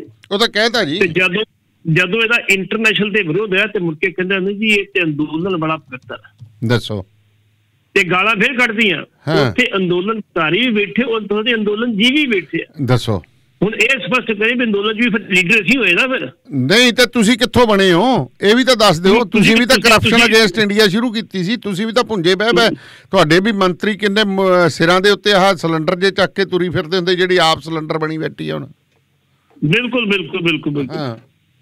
ਉਹਨਾਂ ਕਿਹਾ ਜੀ ਜਿਹੜੀ ਆ ਸੁਪਰੀਮ ਕੋਰਟ ਹੋਈ ਜਾਂ ਇੰਟਰਨੈਸ਼ਨਲ ਹਿਊਮਨ ਰਾਈਟ ਕਮਿਸ਼ਨ ਆ ਉਹਨਾਂ ਨੇ ਇਹਨੇ ਤਜਾਬ ਤਲਬੀ ਕੀਤੀ। ਉਹਨਾਂ ਨੇ ਕਹਿਤਾ ਸੁਪਰੀਮ ਕੋਰਟ ਨੇ ਵੀ ਜਿਹੜਾ ਸ਼ਾਂਤਮਈ ਪ੍ਰੋਟੈਸਟ ਕਰ ਰਹੇ ਕਿਸਾਨ ਉੱਤੇ ਅਸੀਂ ਇੰਟਰਫੇਅਰ ਨਹੀਂ ਕਰ ਸਕਦੇ। ਹੂੰ ਹੂੰ। ਇੰਟਰਨੈਸ਼ਨਲ ਹਿਊਮਨ ਰਾਈਟਸ ਕਮਿਸ਼ਨ ਨੇ ਕਹਿਤਾ ਵੀ ਤੁਸੀਂ ਉਹਨਾਂ ਦੀ ਜਿਹੜੀ ਸੀ ਉੱਥੋਂ ਕਿਉਂ ਬੰਦ ਕੀਤੀ ਇੰਟਰਨੈਟ ਕਿਉਂ ਵਰਤਾ ਤੁਸੀਂ ਲਾਈਟ ਕਿਉਂ ਬੰਦ ਕੀਤੀ ਹੈ ਪੰਜ ਸਪਲਾਈ ਕਿਉਂ ਬੰਦ ਜਵਾਬ ਦਿਓ ਸਾਨੂੰ। ਜੀ ਜੀ। ਹੁਣ ਇਹਨਾਂ ਨੂੰ ਰਾਜ ਰੱਦਾ ਕਰਨਾ ਕੀ ਸੀ ਹੂੰ ਹੂੰ ਹੂੰ। ਉਹਨਾਂ ਕਿਹਾ ਵੀ ਇੰਡੀਆ ਦੀਆਂ ਐਲਆਈਸੀ ਵਰਗੀਆਂ ਕੰਪਨੀਆਂ ਲੈ ਲਓ ਤੁਸੀਂ ਬੀਪੀਐਲ ਕੰਪਨੀਆਂ ਲੈ ਲਓ ਜਿਹੜੀਆਂ ਇਹ ਵੇਚ ਰਹੇ ਨੇ ਇਸ ਵੇਲੇ। ਹੂੰ ਹੂੰ। ਉਹ ਵੇਚ ਕੇ ਵੀ ਢਿੱਡ ਨਹੀਂ ਭਰਿਆ ਇਹਨਾਂ ਦਾ। ਜੀ। ਕਹਿੰਦੇ ਮੈਨੂੰ ਇੱਕ ਜਿਹੜਾ ਸੀ ਕੇਂਦਰ ਸਰਕਾਰ ਦਾ ਇੱਕ ਅਫਸਰ ਆਇਆ ਆਈਐਸ ਅਫਸਰ ਮੇਰੇ ਕੋਲ ਆਇਆ ਤੇ ਉਹਨੇ ਆ ਕੇ ਮੇਰੀ ਗੋਡੀ ਉਤਰਾ ਕਹਿੰਦਾ ਜੀ ਮੈਂ ਤੁਹਾਡੇ ਦਰਸ਼ਨ ਕਰਨੇ ਸੀ। ਜੀ। ਮੈਂ ਕਿਹਾ ਜੀ ਦੱਸੋ ਮਹਾਰਾਜ ਤੁਸੀਂ ਦਰਸ਼ਨ ਕਰਨਾ ਹੈ ਦੱਸੋ ਕੰਮ ਦੱਸੋ। ਕਹਿੰਦਾ ਜੀ ਮੈਂ ਤਾਂ ਗੱਲ ਸੁਚੇਤ ਕਰਨ ਵਾਸਤੇ ਆਇਆ ਹਾਂ ਹੂੰ ਹੂੰ। ਇਹਨਾਂ ਨੇ ਹੁਣ 12 ਲੱਖ ਕਰੋੜ ਰੁਪਇਆ ਸਰਕਾਰ ਜਿਹੜੇ ਸਰਕਾਰ ਨੇ ਜਿਹੜਾ ਲੋਕਾਂ ਤੋਂ ਕਰਜ਼ਾ ਇਕੱਠਾ ਕਰਨਾ ਜੀ। ਹੁਣ ਲੋਕਾਂ ਨੂੰ ਨੰਗ ਕਰਨਾ ਵਾ। ਹੂੰ ਹੂੰ। ਲੋਕੀ ਵੀ ਨੰਗ ਕਰਦੇ ਆ ਬੈਂਕ ਵੀ ਨੰਗ ਕਰਦੇ ਆ ਰਿਜ਼ਰਵ ਰਿਜ਼ਰਵ ਬੈਂਕ ਵੀ ਬੰਨਕ ਕਰਤਾ ਸਾਰੀਆਂ ਕੰਪਨੀਆਂ ਵੇਚਤੀਆਂ ਨੇ ਪੱਲੇ ਕੁਝ ਨਹੀਂ ਹੈਗਾ ਹੁਣ। ਹੂੰ ਹੂੰ। ਇਹ ਹੁਣ ਹੱਥੀ ਪੜੇ ਪੱਗ ਮਾਰਦੇ ਤੇ ਇਹਨਾਂ ਦਾ ਹੁਣ ਐਜ਼ ਡਿਪੈਂਡੈਂਟ ਹੈਗੇ ਕਾਰਪੋਰੇਟ ਦੇ ਉੱਤੇ। ਜੀ। ਤੇ ਤੁਸੀਂ ਡਟੇ ਹੋ ਡਟੇ ਰਹੋ ਫਿਰ ਉਹਨਾਂ ਨੇ ਫਿਰ ਅੱਜ ਫਿਰ ਇੰਨੀ ਗੱਲ ਕਹੀ ਆ। ਆਪਣੇ ਸਾਰੇ ਵੀਰਾਂ ਨੂੰ ਉਹਨੇ ਕਿਹਾ ਵੀ ਮੈਂ ਆਪਣੇ ਬੱਚਿਆਂ ਨੂੰ ਆਪਣੇ ਭੈਣਾਂ ਨੂੰ ਵੀਰਾਂ ਨੂੰ ਕਹਿੰਦਾ ਕਿ ਆਪਣਾ ਮੋਰਚਾ ਸ਼ਾਂਤਮਈ ਰੱਖਿਓ। ਜੀ ਜੀ। ਬਿਲਕੁਲ ਸ਼ਾਂਤਮਈ ਮੋਰਚਾ ਰੱਖਿਓ। ਜੇ ਤੁਸੀਂ ਕਿਤੇ ਜੇ ਤੁਸੀਂ ਸ਼ਾਂਤਮਈ ਨਾ ਵੀ ਕੀਤਾ ਸ਼ਾਂਤਮਈ ਰੱਖਿਆ ਤਾਂ ਜਿੱਤ ਤੁਹਾਡੀ ਹੈ। ਹੂੰ ਹੂੰ ਜੇ ਤੁਸੀਂ ਹਿੰਸਕ ਹੋਗੇ ਫਿਰ ਜਿੱਤ ਮੋਦੀ ਦੀ ਹੈ। ਜੀ। ਉਹਨੇ ਬੜੀ ਕੋਸ਼ਿਸ਼ਾਂ ਕਰਨੀਆਂ ਜੀ ਅੱਗੇ ਅਸੀਂ ਗਲਤੀ ਕੀਤੀ ਦੁਬਾਰਾ ਅਸੀਂ ਗਲਤੀ ਨਾ ਕਰੀਏ। ਜੀ। ਇਹ ਉਹਨਾਂ ਨੇ ਗੱਲ ਕਹੀ ਆ। ਅੱਗੇ ਇੰਨੀਆਂ ਗੱਲਾਂ ਕਰਦੇ ਉਹਨਾਂ ਨੇ ਕਿਹਾ ਵੀ ਇਹ ਇਹ ਜਿਹੜਾ ਸਾਡਾ ਜਾਰੀ ਰਹੂਗਾ। ਉਹਨਾਂ ਨੇ ਤਸੱਲੀ ਪ੍ਰਗਟ ਕੀਤੀ। ਅੱਜ ਜਿਹੜੀ ਲੋਕ ਇਕੱਠੇ ਹੋਏ ਨੇ ਕਹਿੰਦੇ ਬਹੁਤ ਸ਼ਾਰਟ ਨੇਸ ਦੇ ਇਕੱਠੇ ਜੀ ਜੀ। ਬਹੁਤ ਲੋਕਾਂ ਨੇ ਉੱਥੇ ਜਿਹੜੇ ਪੈਸੇ ਵੀ ਦਿੱਤੇ ਉਹਨਾਂ ਨੂੰ ਅੱਛਾ। ਪੱਟੀ ਸਾਹਿਬ ਮੈਂ ਇੱਕ ਦਰਖਾਸਤ ਕਰਦੇ ਆ ਆਪਣੇ ਸਾਰੇ ਲਿਸਨਰਸ ਨੂੰ ਪਲੀਜ਼ ਵੱਧ ਤੋਂ ਵੱਧ ਸ਼ੇਅਰ ਕਰ ਦਿਓ। ਹੁਣ ਇੱਕ ਦੋ ਪਤਾ ਨਹੀਂ ਕਿਉਂ ਮੈਂ ਤਾਂ ਪਹਿਲਾਂ ਤੋਂ ਕਹਿੰਦਾ ਕਿ ਜਿਹੜੇ ਬੰਦੇ ਇਹ ਚਲਾ ਰਹੇ ਨੇ ਠੀਕ ਆ ਉਹਨਾਂ ਨੂੰ ਪੇਜਾਂ ਦੇ ਵਿਊਜ਼ ਚਾਹੀਦੇ ਨੇ ਤੇ ਸਭ ਤੋਂ ਵੱਧ ਮਿਸਗਾਈਡ ਵੀ ਉਹ ਕਰ ਰਹੇ ਨੇ। ਹੁਣ ਮਹਾਲੀ ਦੇ ਫੇਸ 1 ਤੋਂ ਇੱਕ ਵੀਡੀਓ ਆ ਰਹੀ ਹੈ। ਕਾਂਗਰਸ ਵਾਲਿਆਂ ਨੇ ਕਿਸਾਨੀ ਝੰਡਾ ਚੱਕ ਕੇ ਬੀਜੇਪੀ ਵਾਲੇ ਦੇ ਹੱਤਕ ਕੀਤੀ ਉਹਦੀ ਬੇਇੱਜ਼ਤੀ ਕੀਤੀ। ਵਰਤਿਆ ਕਿਸਾਨੀ ਝੰਡਾ ਜਾ ਰਿਹਾ ਤੇ ਉਹ ਪੇਜ ਵਾਲੇ ਵੀ ਦਿਖਾ ਰਹੇ ਕਿਸਾਨਾਂ ਨੇ ਬੀਜੇਪੀ ਦੀ ਲੀਡਰਾਂ ਦੀ ਕੀਤੀ ਲਾਪਾ। ਵੀ ਕੁੱਟਮਾਰ ਕੀਤੀ। ਹੁਣ ਉਹ ਬੰਦੇ ਦੋ ਬੰਦਾ ਉਹਨੂੰ ਵੇਖੀ ਜਾਂਦਾ ਸੋ ਭਾਈ ਕਿਸਾਨੀ ਸੰਘਰਸ਼ ਦੀ ਆੜ ਦੇ ਵਿੱਚ ਬਹੁਤ ਕੁਝ ਪਣ ਪਰਿਆ ਬਚਿਓ। ਇਹ ਕਿਸਾਨੀ ਝੰਡੇ ਲੈ ਕੇ ਆਪਦੀਆਂ ਜਿਹੜੀਆਂ ਨਾ ਜਿਵੇਂ ਮਾੜੇ ਦਿਨਾਂ ਦੇ ਵਿੱਚ ਲੋਕਾਂ ਨੇ ਆਪਦੀਆਂ ਕਿੜਾਂ ਕੱਢ ਲੀਆਂ ਸੀ ਖਾੜਕੂਆ ਦੇ ਨਾਂ ਦੇ ਹੇਠ। ਸੋ ਉਸੇ ਤਰ੍ਹਾਂ ਨੋਟ ਕਰ ਲਓ ਉਸੇ ਤਰ੍ਹਾਂ ਸਿਆਸੀ ਲੋਕ ਆਪਦੀਆਂ ਕਿੜਾਂ ਇੱਕ ਦੂਜੇ ਨਾਲ ਕੱਢ ਰਹੇ ਨੇ। ਝੰਡਾ ਕਿਸਾਨੀ ਦਾ ਹੁੰਦਾ ਸ਼ਰਿਆਮ ਫੇਸ 1 ਦੇ ਵਿੱਚ ਇਹ ਘਟਨਾ ਵਾਪਰੀ ਹੈ। ਅੱਜ ਦੀ। ਮੂੰਹ ਤੇ ਥੁੱਕਿਆ ਗਿਆ ਕੈਂਡੀਡੇਟ ਦੇ ਦੱਸੋ। ਉੱਥੇ ਕਿਸਾਨ ਨੇਤਾਵਾਂ ਨੂੰ ਵੀ ਜਾ ਕੇ ਗੱਲ ਦਾ ਲੇਖਾ ਲੈਣਾ ਪੈਣਾ ਬੜੇ ਗਲਤ ਕੰਮ ਹੋ ਰਿਹਾ ਕਿਸਾਨੀ ਝੰਡੇ ਦੇ ਥੱਲੇ। ਇਹਦੇ ਤੇ ਕਿਸਾਨਾਂ ਨੂੰ ਆਪਣੀ ਸਿੱਧੀ ਸਮਝ ਕਰਨੀ ਚਾਹੀਦੀ ਹੈ ਜੀ। ਹੂੰ। ਚੰਗੀ ਗੱਲ ਕਿ ਅੱਜ ਜਿਹੜੇ ਰਾਜੇਵਾਲ ਸਾਹਿਬ ਤੋਂ ਸਟੇਜ ਤੋਂ ਕਰ ਦਿੰਦੇ ਕਿ ਜੇ ਤੁਸੀਂ ਵਿਰੋਧ ਕਰਨਾ ਤੇ ਉਹਨਾਂ ਦਾ ਸ਼ਾਂਤੀ ਵਿਰੋਧ ਕਰੋ ਕਿ ਤੇ ਹਮਲਾ ਨਾ ਕਰੋ। ਨਹੀਂ ਨਹੀਂ ਉਹਨਾਂ ਦਾ ਉਹਨਾਂ ਨੂੰ ਇਹ ਚੀਜ਼ਾਂ ਦਾ ਕਈ ਵਾਰੀ ਨਹੀਂ ਪਤਾ ਹੁੰਦਾ ਉਹਨਾਂ ਨੂੰ ਗੱਲ ਪਹੁੰਚਾਉਣੀ ਪੈਣੀ ਹੈ ਕਿਉਂਕਿ ਇੱਥੇ ਇੱਕ ਗੱਲ ਆ ਗਈ ਜੀ ਹਰੇਕ ਥਾਂ ਤੇ ਕਿਸਾਨ ਹਰੇਕ ਥਾਂ ਤੇ ਕਿਸਾਨਾਂ ਨੂੰ ਉਹਨਾਂ ਤੱਕ ਪਹੁੰਚ ਜਾਣੀ ਜੀ ਜਿੰਨੀਆਂ ਗੱਲਾਂ ਕੀਤੀਆਂ ਤੇ ਬਹੁਤੀਆਂ ਗੱਲਾਂ ਆਪਾਂ ਜਿਹੜੀਆਂ ਕਰਦੇ ਨੇ ਰੈਡੀ ਤੇ ਉਹੀ ਕੀਤੀਆਂ ਉਹਨਾਂ ਨੇ ਕੀਤੀਆਂ ਹਾਂ ਹਾਂ ਹਾਂ। ਉਹਨਾਂ ਤੱਕ ਪਹੁੰਚ ਜਾਣੀ ਹੈ। ਜੀ ਜੀ ਜੀ। ਉੱਥੇ ਫੋਨ ਵੀ ਆ ਜਾ ਉੱਥੇ ਫੋਨ ਵੀ ਆ ਜਾਂਦੇ ਮੁੜ ਕੇ ਵੀ ਤੁਸੀਂ ਫਲਾਣੀ ਗੱਲ ਕੀਤੀ ਥੋੜੀ ਸੋਧ ਕਰ ਲਓ ਹੂੰ ਹੂੰ ਹੂੰ ਜੀ ਤੇ ਉਧਰ ਫਿਰ ਗੱਲ ਕਰੀਏ ਤਾਂ ਟਰੈਕਟਰ ਪਰੇਡ ਦੇ ਵਿੱਚ ਮਾਰੇ ਗਏ ਨਵਰੀਤ ਸਿੰਘ ਦਾ ਪਰਿਵਾਰ ਤਾਂ ਹਾਈ ਕੋਰਟ ਪੁੱਜ ਗਿਆ ਪਰ ਸਿੰਘੂ ਬਾਰਡਰ ਤੇ ਕਿਸਾਨਾਂ ਤੇ ਸਿੱਧੂ ਤੇ ਹੋਰ ਜਿਹੜੇ ਫੜੇ ਗਏ ਨੇ ਉਹਨਾਂ ਦੀ ਰਿਹਾਈ ਦੇ ਲਈ ਕਈ ਥਾਵਾਂ ਤੇ ਰੋਸ ਮਾਰਚ ਵੀ ਕੀਤਾ ਟ੍ਰਿਬਿਊਨ ਦੀ ਖਬਰ ਫਰੀਦਕੋਟ ਤੋਂ ਆਈ ਹੈ ਕਿ ਸਿੱਧੂ ਯਾਨੀ ਕਿ ਮੁੰਡਾ ਦੀਪ ਸਿੱਧੂ ਹੈ ਜਿਹੜਾ ਇਹਨੂੰ ਰਿਹਾਈ ਕਰਾਉਣ ਦੇ ਲਈ ਉੱਥੇ ਰੈਲੀ ਕੱਢੀ ਗਈ ਜਿਹਦਾ ਇੰਨਾ ਲੋਕਾਂ ਨੇ ਕਿਸਾਨਾਂ ਨੇ ਸਾਥ ਨਹੀਂ ਦਿੱਤਾ। ਮਿਲੇ ਜੁਲੇ ਪ੍ਰਤੀਕਰਮ ਆ ਰਹੇ ਨੇ। ਨਹੀਂ ਚਲੋ ਜਿੰਨਾ ਵੀ ਸਾਥ ਦਿੱਤਾ ਜੀ ਭਾਵੇਂ ਉਹ ਚ 10 ਬੰਦੇ ਸੀ ਭਾਵੇਂ 100 ਸੀ ਤੇ ਭਾਵੇਂ 500 ਬੰਦਾ ਸੀ। ਆਪਾਂ ਖਬਰ ਕਰਨਾ ਦਾ ਖਬਰ ਜੀ ਖਬਰ ਕਰਨੀ ਪਾਰਟੀ ਕੁਰਨ ਜਾਨੀ ਲਿਆ ਉਹਦੇ ਚ ਨਵਨੀਤ ਦੀ ਫੋਟੋ ਤਸਵੀਰ ਉਹਨਾਂ ਸਭ ਤੋਂ ਪਹਿਲਾਂ ਲਾਈਵ ਪਰ ਲਾਈਵ ਚਾਲੇ ਲਾਈ ਉਹਦੇ। ਹੂੰ ਹੂੰ। ਬਾਕੀ ਤਸਵੀਰਾਂ ਸਾਈਡ ਤੇ ਲਈਆਂ ਨੇ ਉਹਨੂੰ ਸ਼ਰਧਾਂਜਲੀ ਭੇਟ ਕੀਤੇ ਗਏ ਤੇ ਨਾਲ ਬਕਾਇਦਾ ਤੌਰ ਤੇ ਮਾਰਚ ਕੀਤਾ ਗਿਆ ਬੜੇ ਨਾਰੇ ਲਾਏ ਗਏ ਉਹ ਸਾਰੂ ਸੋਚ ਦੇ ਨਾਰੇ ਲਾਏ ਗਏ ਵੀ ਸਾਡੇ ਬੰਦੇ ਰਿਆ ਕਰੋ। ਹੂੰ ਹੂੰ ਹੂੰ। ਵੇਖੋ ਭਾਵੇਂ ਦੀਪ ਸਿੱਧੂ ਜਿਹੜੇ ਮਰਜ਼ੀ ਹੋਵੇ ਤੇ ਹੈ ਤੇ ਮੋਰਚੇ ਨਾਲ ਸੰਬੰਧਤ ਹੈ ਨਾ। ਜੀ। ਕੱਲ ਨੂੰ ਗੱਲ ਮੋਰਚੇ ਦੀ ਹੋਣੀ ਵੀ ਮੋਰਚੇ ਦਾ ਬੰਦਾ ਸੀ ਇਹ। ਭਾਵੇਂ ਅਸੀਂ ਕਹਿੰਦੇ ਕਿ ਫਲਾਣੇ ਬੰਦਾ ਸੀ ਢਿੰਗੜੀ ਦਾ ਬੰਦਾ ਸੀ ਉਕੜੇ ਦਾ ਬੰਦਾ ਸੀ ਪਹਿਲੀ ਗੱਲ ਤੇ ਜਿਹੜੀ ਗੱਲ ਆਪਾਂ ਕੱਲ ਡਿਸਕਸ ਕੀਤੀ ਸੀ। ਜੀ। ਪਹਿਲੀ ਗੱਲ ਤੇ ਫਤਿਹ ਦਿਵਸ ਦੇ ਉੱਤੇ ਬਕਾਇਦਾ ਤੌਰ ਤੇ ਖਾਲਸੀ ਝੰਡਾ ਛੜਾ ਚਲਾਇਆ ਜਾਂਦਾ ਜਿਹੜਾ ਨਿਸ਼ਾਨ ਸਾਹਿਬ। ਹੂੰ ਹੂੰ ਹੂੰ। ਦੂਸਰੀ ਜੇ ਆਪਾਂ ਕੱਲ ਵੀ ਗੱਲ ਕੀਤੀ ਸੀ ਵੀ ਜਦੋਂ 26 ਜਨਵਰੀ ਨੂੰ ਪਰੇਡ ਲਾਲ ਕਰੇ ਤੇ ਆਉਂਦੀ ਆ ਤੇ ਬਕਾਇਦਾ ਤੌਰ ਤੇ ਜਿੱਥੇ ਗਾਬਾ ਸ਼ੀਸ਼ਨ ਗੁਰਦੁਆਰਾ। ਜੀ। ਉਸ ਪਾਸੇ ਸਿੱਖ ਟੁਕੜੀ ਦਾ ਜਿਹੜਾ ਲੀਡਰ ਹੁੰਦਾ ਉਹ ਕਹਿੰਦਾ ਜੀ ਦਾएं ਦੇਖ ਜਾ ਬਾएं ਦੇਖ ਜੇ ਪਾਸੇ ਪਾਸੇ ਹੁੰਦਾ ਉਹ। ਹੂੰ ਹੂੰ ਹੂੰ। ਉਸ ਪਾਸੇ ਨਿਸ਼ਾਨ ਸਾਹਿਬ ਹੁੰਦਾ ਸਾਹਮਣੇ ਦਿਖਾਈ ਦਿੰਦਾ ਆਪਾਂ ਕੀਤੀ ਕੱਲ ਗੱਲ ਕੀਤੀ ਸਾਰੀ ਸਮਝਾਈ ਗੱਲ ਕੀਤੀ ਹੈ। ਹੂੰ ਹੂੰ। ਨਹੀਂ ਮੇਰੀ ਮੇਰੀ ਬੇਨਤੀ ਸੁਣ ਲੈਂਦੇ ਮੈਂ ਗੱਲ ਕਰਾਂ ਮੈਂ ਗੱਲ ਪੂਰੀ ਕਰਾਂ ਮੇਰਾ ਮਤਲਬ ਕਿ ਉਹਨੂੰ ਉਦੋਂ ਅਸੀਂ ਸਲਾਮ ਕਰਦੇ ਉਦੋਂ ਕਿਸੇ ਨੂੰ ਇਤਰਾਜ਼ ਨਹੀਂ ਹੁੰਦਾ। ਹੂੰ ਹੂੰ। ਫਤਿਹ ਦਿਵਸ ਤੇ ਨਿਸ਼ਾਨ ਸਾਹਿਬ ਜੋ ਉਦੋਂ ਚਲਾ ਨਹੀਂ ਹੁੰਦਾ ਜਦੋਂ ਉਦੋਂ ਤੇਰੀ ਟੁਕੜੀ ਕਰਦੀ ਹੈ। ਪਹਿਲਾਂ ਉਹ ਧੰਨ ਦੁਨੀਆ ਦੇ ਪਾਤਸ਼ਾਹ ਨੂੰ ਸਲਾਮ ਕਰਦੀ ਤੇ ਮੁੜ ਕੇ ਜਾ ਕੇ ਹਿੰਦੁਸਤਾਨ ਦੇ ਬਾਦਸ਼ਾਹ ਨੂੰ ਸਲਾਮ ਕਰਦੀ। ਜੀ। ਉਦੋਂ ਕਿਸੇ ਨੂੰ ਇਤਰਾਜ਼ ਨਹੀਂ ਜੇ ਉਹਨਾਂ ਮੁੰਡਿਆਂ ਨੇ ਚੜਾ ਦਿੱਤਾ ਤੇ ਫਿਰ ਇਕੜੀ ਤੋਪ ਚੱਲ ਗਈ ਹੈ? ਕਹਿ ਦੋ ਵੀ ਕਾਕਾ ਤੁਸੀਂ ਗਲਤੀ ਕੀਤੀ ਹੈ ਤੁਸੀਂ ਇਹ ਆਨ ਤੇ ਸਾਨੂੰ ਜਿਹੜੀ ਕੀਤਾ ਅੱਗੇ ਤੋਂ ਨਹੀਂ ਹੋਣੀ ਚਾਹੀਦਾ ਦੁਬਾਰਾ ਨਹੀਂ ਗਲਤੀ ਹੋਣੀ ਚਾਹੀਦੀ। ਇਹ ਕਹਿ ਕੇ ਵੀ ਕੰਮ ਨਹੀਂ ਬਣਾ ਸਕਦਾ। ਹੁਣ ਤੁਸੀਂ ਰੇਡ ਕਰ ਰਹੇ ਹੋ ਕਦੀ ਕਲਿੱਕ ਕਰ ਰਹੇ ਹੋ ਫੜ ਰਹੇ ਹੋ ਬੰਦੇ ਉਹਨਾਂ ਤੇ ਯੂਏਪੀ ਲਾ ਰਹੇ ਹੋ ਕਿ ਇਹਨਾਂ ਇਹ ਬੰਦੇ ਬਾਹਰ ਹੀ ਨਾ ਹੋਣ। ਉਹਨਾਂ 180 ਦੇ ਵਿੱਚ ਚਲਾਨ ਹੀ ਨਹੀਂ ਪੇਸ਼ ਕਰਨਾ ਜ਼ਬਾਨ ਤੇ ਨਹੀਂ ਹੋਣੀ ਉਹਨਾਂ ਦੀ। ਜੀ ਜੀ। ਕਰਕੇ ਜਿਹੜਾ ਉਹਨਾਂ ਮਾਰਚ ਕੀਤਾ ਠੀਕ ਕੀਤਾ ਭਾਵੇਂ ਉਹ ਬੰਦਿਆਂ ਦੀ ਜਿਹੜੀ ਮੱਦੀ ਜੋੜਦੀ ਹੈ ਬੀਜੇਪੀ ਦਾ ਬੰਦਾ ਸੀ ਟਿੰਗੜਾ ਸੀ ਔਕੜਾ ਸੀ ਪਰ ਹੈ ਉਹ ਮੋਰਚੇ ਦਾ ਸੰਬੰਧ ਸੀ। ਜੀ। ਮੋਰਚੇ ਦਾ ਸੰਬੰਧਤ ਬਾਰੇ ਸਾਰੇ ਟਿਕੈਤ ਨੇ ਵੀ ਕਿਹਾ ਕਿ ਸਾਡੇ ਬੰਦੇ ਰਿਹਾ ਕਰੋ। ਉਹਨੇ ਪਾਰਟੀ ਕੋਲ ਕਿਸੇ ਇੱਕ ਬੰਦੇ ਦਾ ਨਾਂ ਲੈ ਕੇ ਨਹੀਂ ਕਿਹਾ। ਉਹਨੇ ਸਮੁੱਚੇ ਦੀ ਗੱਲ ਕੀਤੀ। ਇਹਨਾਂ ਜਥੇਬੰਦੀਆਂ ਨੇ ਗੱਲ ਕਹੀ ਹੈ ਇਹਨਾਂ ਬਕਾਇਦਾ ਤੌਰ ਤੇ ਇੱਕ ਟੀਮ ਬਣਾਈ ਆਪਣੀ ਵਕੀਲਾਂ ਦੀ। ਉਹਦੇ ਵਿੱਚ ਮੇਰੇ ਕਿੰਨੇ ਕੁ ਵਕੀਲ ਅੱਗੇ ਦਰਜਨ ਦੇ ਕਰੀਬ ਵਕੀਲ ਹੈਗੇ ਜਿਹੜੇ ਉਹ ਕੇਸ ਲੜ ਰਹੇ ਹੂੰ ਹੂੰ। ਨੋਦੀਪ ਦੀ ਜਿਹੜਾ ਕੇਸ ਸੀਗਾ ਉਹ ਵੇਖੋ ਉਹਨੇ ਕਹਿਤਾ ਦਿੱਲੀ ਕਮੇਟੀ ਦੇ ਅਸੀਂ ਲੜਾਂਗੇ ਉੱਥੇ। ਜੀ। ਇਸ ਕਾ ਗੱਲ ਇਹ ਨਹੀਂ ਗੱਲ ਭਾਵੇਂ ਦੀਪ ਸਿੱਧੂ ਭਾਵੇਂ ਉਹ ਬੀਜੇਪੀ ਦਾ ਬੰਦਾ ਸੀ ਏਜੰਸੀ ਦਾ ਬੰਦਾ ਸੀ ਉਹ ਸੈਪਰੇਟ ਗੱਲ ਲੇਕਿਨ ਨਾ ਉਹਦਾ ਮੋਰਚੇ ਨਾਲ ਜੁੜਦਾ ਸੀਗਾ। ਇਸ ਕਰਕੇ ਮੰਗ ਇਹ ਹੋਣੀ ਚਾਹੀਦੀ ਕਿ ਸਾਡੇ ਜਿੰਨੇ ਬੰਦੇ ਫੜੇ ਆ ਉਹ ਰਿਆ ਕਰੋ। ਜਿਹੜੀ ਉੱਥੇ ਭਾਵੇਂ ਬੰਦੇ ਥੋੜੇ ਆਏ ਬਹੁਤ ਤੇ ਅਲੱਗ ਮੈਟਰ ਆ। ਗੱਲ ਸਿਰਫ ਇਹ ਆ ਕਿ ਉੱਥੇ ਮਾਰਚ ਕੀਤਾ ਗਿਆ ਨਾਰੇਬਾਜ਼ੀ ਬੜੀ ਜ਼ੋਰ ਸ਼ੋਰ ਨਾਲ ਹੋਈ ਸਰਕਾਰ ਦੇ ਖਿਲਾਫ ਵੀ ਹੋਈ ਸਭ ਕੁਝ ਹੈ। ਜੀ। ਜੀ।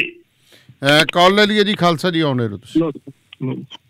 ਹਾਂਜੀ ਧੰਨਵਾਦ ਸਾਹਿਬ ਤੇ ਪੱਟੀ ਸਾਹਿਬ ਵਾਹਿਗੁਰੂ ਜੀ ਕਾ ਖਾਲਸਾ ਵਾਹਿਗੁਰੂ ਜੀ ਵਾਹਿਗੁਰੂ ਖਾਲਸਾ ਵਾਹਿ ਫਤਿਹ ਜੀ। ਤੇ ਮੈਂ ਤਾਂ ਇਹ ਗੱਲ ਕਹਿਣੀ ਚਾਹੁੰਦਾ ਪਹਿਲੀ ਗੱਲ ਤਾਂ ਕਿਸਾਨਾਂ ਨੂੰ ਚੁਕੰਨੇ ਰਹਿਣਾ ਚਾਹੀਦਾ ਹੈ ਕਿ ਕਿਸਾਨੀ ਝੰਡਾ ਲੈ ਕੇ ਕੋਈ ਪੋਲੀਟੀਕਲ ਪਾਰਟੀ ਜਦੋਂ ਵਰਤਦੀ ਹੈ ਤਾਂ ਉਹ ਤੇ ਐਕਸ਼ਨ ਲਓ। ਇੱਕ ਜੀ। ਨੰਬਰ 2 ਮੋਦੀ ਨੇ ਪਾਰਲੀਮੈਂਟ ਵਿੱਚ ਕਿਹਾ ਕਿ ਤਿੰਨ ਤਲਾਕ ਤੇ ਉਹ ਜਿਹੜੇ ਟਾਇਲਟ ਬਣਾਏ ਆ ਜਿਹੜੀਆਂ ਸੜਕਾਂ ਜਾਂ ਬਿਜਲੀ ਜਾਂ ਗੈਸ ਸਿਲੰਡਰ ਦਿੱਤੇ ਉਹ ਕਿਹੜਾ ਕਿ ਮੰਗੇ ਸੀ? ਤੇ 15 15 ਲੱਖ ਕਿਹੜਾ ਮੰਗਿਆ ਸੀ? 2 ਕਰੋੜ ਨੌਕਰੀ ਕਿਹੜਾ ਮੰਗੀ ਸੀ? ਤੇ ਉਹ ਜਿਹੜੇ 에ਅਰਪੋਰਟ ਜਿਹੜੇ ਆ ਤੇ ਆਪਣੇ ਰੇਲਵੇ ਸਟੇਸ਼ਨ ਤੇ ਜਿਹੜੀਆਂ ਸਰਕਾਰੀ ਕੰਪਨੀਆਂ ਲੋਕਾਂ ਨੇ ਕਦੇ ਉਹ ਕਿਹਾ ਸੀ ਇਹਨੂੰ ਬਈ ਇਹ ਜੀ। ਖਾਲਸਾ ਜੀ ਜਿਹੜੀ ਗੱਲ ਤੁਸੀਂ ਕੀਤੀ ਹੈ ਜੀ ਹੂੰ ਹੂੰ। ਤੁਸੀਂ ਜਿਹੜੀ ਗੱਲ ਕੀਤੀ ਵਾਕਿਆ ਨਹੀਂ ਮੰਗੇ ਕਿਸੇ ਨੇ। ਜੀ। ਲੇਕਿਨ ਇਹ ਦੱਸਦੇ ਵੀ ਉਹ ਆਂਦਾ ਵੀ ਜੇ ਮੰਗੇ ਨਹੀਂ ਸੀ ਦਿੱਤੇ। ਹੂੰ ਹੂੰ। ਇਹਨਾਂ ਲੋਕਾਂ ਮੰਗੇ ਨਹੀਂ ਪਰ ਅਸੀਂ ਦਿੱਤੇ। ਦਿੱਤੇ ਹਾਂਜੀ। ਲੇਕਿਨ ਇਹਨਾਂ ਨੂੰ ਪਤਾ ਹੋਏਗਾ 30 35 ਸਾਲ ਪਹਿਲਾਂ ਗੁਹਾਟੀ ਹਾਈ ਕੋਰਟ ਨੇ ਜਿਹੜਾ ਸੀ ਤੀਨ ਤਲਾਕ ਦਾ ਫੈਸਲਾ ਕੀਤਾ ਸੀ ਕਿ ਤੀਨ ਤਲਾਕ ਕਹਿਣ ਦੇ ਉੱਤੇ ਕਿਸੇ ਔਰਤ ਨੂੰ ਤਲਾਕ ਨਹੀਂ ਦਿੱਤਾ ਜਾ ਸਕਦਾ। ਜੀ। ਉਦੋਂ ਬਾਅਦ ਬੰਬੇ ਹਾਈ ਕੋਰਟ ਨੇ ਕੀਤਾ। ਉਦੋਂ ਬਾਅਦ ਮਦਰਾਸ ਹਾਈ ਕੋਰਟ ਨੇ ਕੀਤਾ। ਇਹ ਕੋਈ ਨਵਾਂ ਤਾਂ ਨਹੀਂ ਕੀਤਾ ਇਹਨਾਂ ਦੇ ਵਿੱਚ ਕੋਈ? ਨਵਾਂ ਕੁਝ ਨਹੀਂ ਕੀਤਾ ਸਿਰਫ ਇੱਕ ਪਾਵਰ ਪਪੂਲੈਰਿਟੀ ਲੈਣੀ ਸੀ। ਜੀ ਜੀ। 2000 ਤੇ 2007 ਦੇ ਵਿੱਚ ਵੀ ਇਹਦਾ ਸੰਘਰਸ਼ ਸ਼ੁਰੂ ਹੋਇਆ ਸੀ। ਉਦੋਂ ਵੀ ਇਹਨਾਂ ਨੇ ਜਿਹੜੇ ਸੈਮੀਨਾਰ ਕਰਾਏ ਸੀ ਸਭ ਕੁਝ ਕੀਤਾ ਸੀ। ਕੁਰਾਨ ਸ਼ਰੀਫ 'ਚ ਹੈਗਾ ਉਹ, ਤਿੰਨ ਤਲਾਕ ਦੀ ਗੱਲ ਨਹੀਂ ਕਰਦਾ ਉਹਦੇ ਕੁਰਾਨ। ਸ਼ਰੀਫ 'ਚ। ਹੂੰ ਹੂੰ। 2016 ਦੀ ਪਟੀਸ਼ਨ ਪਈ ਸੀ ਇੱਕ ਦੇ ਵਿੱਚ ਇਹਦੇ ਇਹਨੂੰ ਲੈ ਕੇ ਇਸ ਚੀਜ਼ ਨੂੰ। ਜੀ। ਇਸੇ ਕਰਕੇ ਇਹ ਜੋ ਮਰਜ਼ੀ ਕਹੀ ਜਾਣ ਨਹੀਂ ਦਿੱਤਾ ਨਹੀਂ ਮੰਗਾ ਨਹੀਂ ਦਿੱਤਾ ਤਾਂ ਜ਼ਿੰਮੇਵਾਰੀ ਬਣਦੀ ਹੈ। ਹੂੰ ਹੂੰ ਹੂੰ। ਤੁਹਾਡੀ ਇੱਕ ਸਰਕਾਰ ਦੀ ਰਿਸਪੌਂਸਿਬਿਲਟੀ ਬਣਦੀ ਹੈ ਕਿ ਜੇ ਕੋਈ ਗਲਤ ਹੋ ਰਿਹਾ ਉਹਨੂੰ ਸਹੀ ਕਰੋ ਤੁਸੀਂ ਸਰਕਾਰ ਬਣਾਈ ਕਦੇ ਵਾਸਤੇ? ਜੀ ਜੀ। ਇਸ ਕਰਕੇ ਮੋਦੀ ਸਾਹਿਬ ਜਿਹੜੀ ਗੱਲ ਕਹਿੰਦੇ ਨਾ ਵੀ ਤਿੰਨ ਤਲਾਕ ਦੀ ਗੱਲ ਕਰਦੇ ਤਿੰਨ ਤਲਾਕ ਦੇ ਵਿੱਚ ਹੁਣ ਦੇਸ਼ ਪ੍ਰਸ ਦੀ ਗੱਲ ਆ ਕਦੋਂ ਮੰਗ ਨਹੀਂ ਕੀਤੀ? ਲੋਕੀ ਮੰਗ ਕਰਦੇ ਵੀ ਬੰਦ ਕਰੋ ਇਹਨੂੰ। ਹੂੰ ਹੂੰ। ਬਾਲ ਵਿਆਹ ਦੀ ਗੱਲ ਕਰਦੇ ਇਹਦੇ ਤੇ ਪਹਿਲਾਂ ਸੁਪਰੀਮ ਕੋਰਟ ਦਾ ਫੈਸਲਾ ਆ ਚੁੱਕਾ ਵਾ। ਜੀ। ਨਵੀਂ ਗੱਲ ਕਿਹੜੀ ਕੀਤੀ ਹੈ? ਹੂੰ ਹੂੰ। ਨਵੀਂ ਗੱਲ ਕੀਤੀ ਹੈ ਕਿਸਾਨਾਂ ਦੀ ਕਿ ਕਿਸਾਨਾਂ ਨੂੰ ਜਾੜਨਾ ਕਿਵੇਂ? ਪਹਿਲਾਂ ਉਹਦੀ ਆਰਡਰ ਕੀਤਾ 44 ਕਾਨੂੰਨ ਬਣੇ ਸੀ ਲੇਬਰ ਦੇ ਤੁਸੀਂ ਕੱਟ ਕੇ ਚਾਰ ਕਰ ਦਿੱਤੇ। ਜੀ। ਇਹੀ ਗੱਲ ਕਹੀ ਨਾ ਉਹਨਾਂ। ਨੇ ਹੂੰ, ਹੂੰ। ਦੇਖੋ ਜੀ ਇਹ ਸਾਰੇ ਆ ਜਾਣਗੇ ਤਾਂ ਉਹਨਾਂ ਕਹਿਤਾ ਵੀ ਰਾਜੇਵਾਲ ਸਾਹਿਬ ਨੇ ਕਹਿਤਾ ਉਹਨਾਂ ਨੂੰ ਮੰਤਰੀ ਸਾਹਿਬ ਨੂੰ ਭਾਜੀ ਜੇ ਤੁਸੀਂ ਸਮਝਦੇ ਸਾਰੇ ਗਲਤ ਆ ਤੇ ਕਰ ਦਿਓ ਰੱਦ ਸਾਰੇ। ਹੂੰ ਹੂੰ। ਧੋ ਲਓ ਪਾਪ ਨਹਾ ਲਓ ਗੰਗਾ। ਜੀ। ਚੰਗੇ ਰਹੋ ਤੁਸੀਂ। ਇਸ ਕਰਕੇ ਖਾਲਸਾ ਜੀ ਨਵੀਂ ਗੱਲ ਕੋਈ ਨਹੀਂ ਕੀਤੀ। ਇਹ Bombay high court Guwahati high court ਨੇ 30 35 ਸਾਲ ਪਹਿਲਾਂ ਵੀ ਇੱਕ ਕਾਨੂੰਨ ਜਿਹੜੇ ਸੀ ਇਹ ਰੱਦ ਕੀਤੇ ਸੀ ਵੀ ਤਲਾਕ ਤਿੰਨ ਤਲਾਕ ਕਹਿੰਦੇ ਤੁਸੀਂ ਤਲਾਕ ਨਹੀਂ ਦੇ ਸਕਦੇ। ਜੀ ਜੀ। ਜੀ। ਕਾਲ ਲੈ ਲਈਏ ਜੀ WhatsApp ਕਾਲ ਸਤਿ ਸ਼੍ਰੀ ਅਕਾਲ ਜੀ। ਜੀ। ਲੰਡਨ ontario ਤੋਂ। ਜੀ।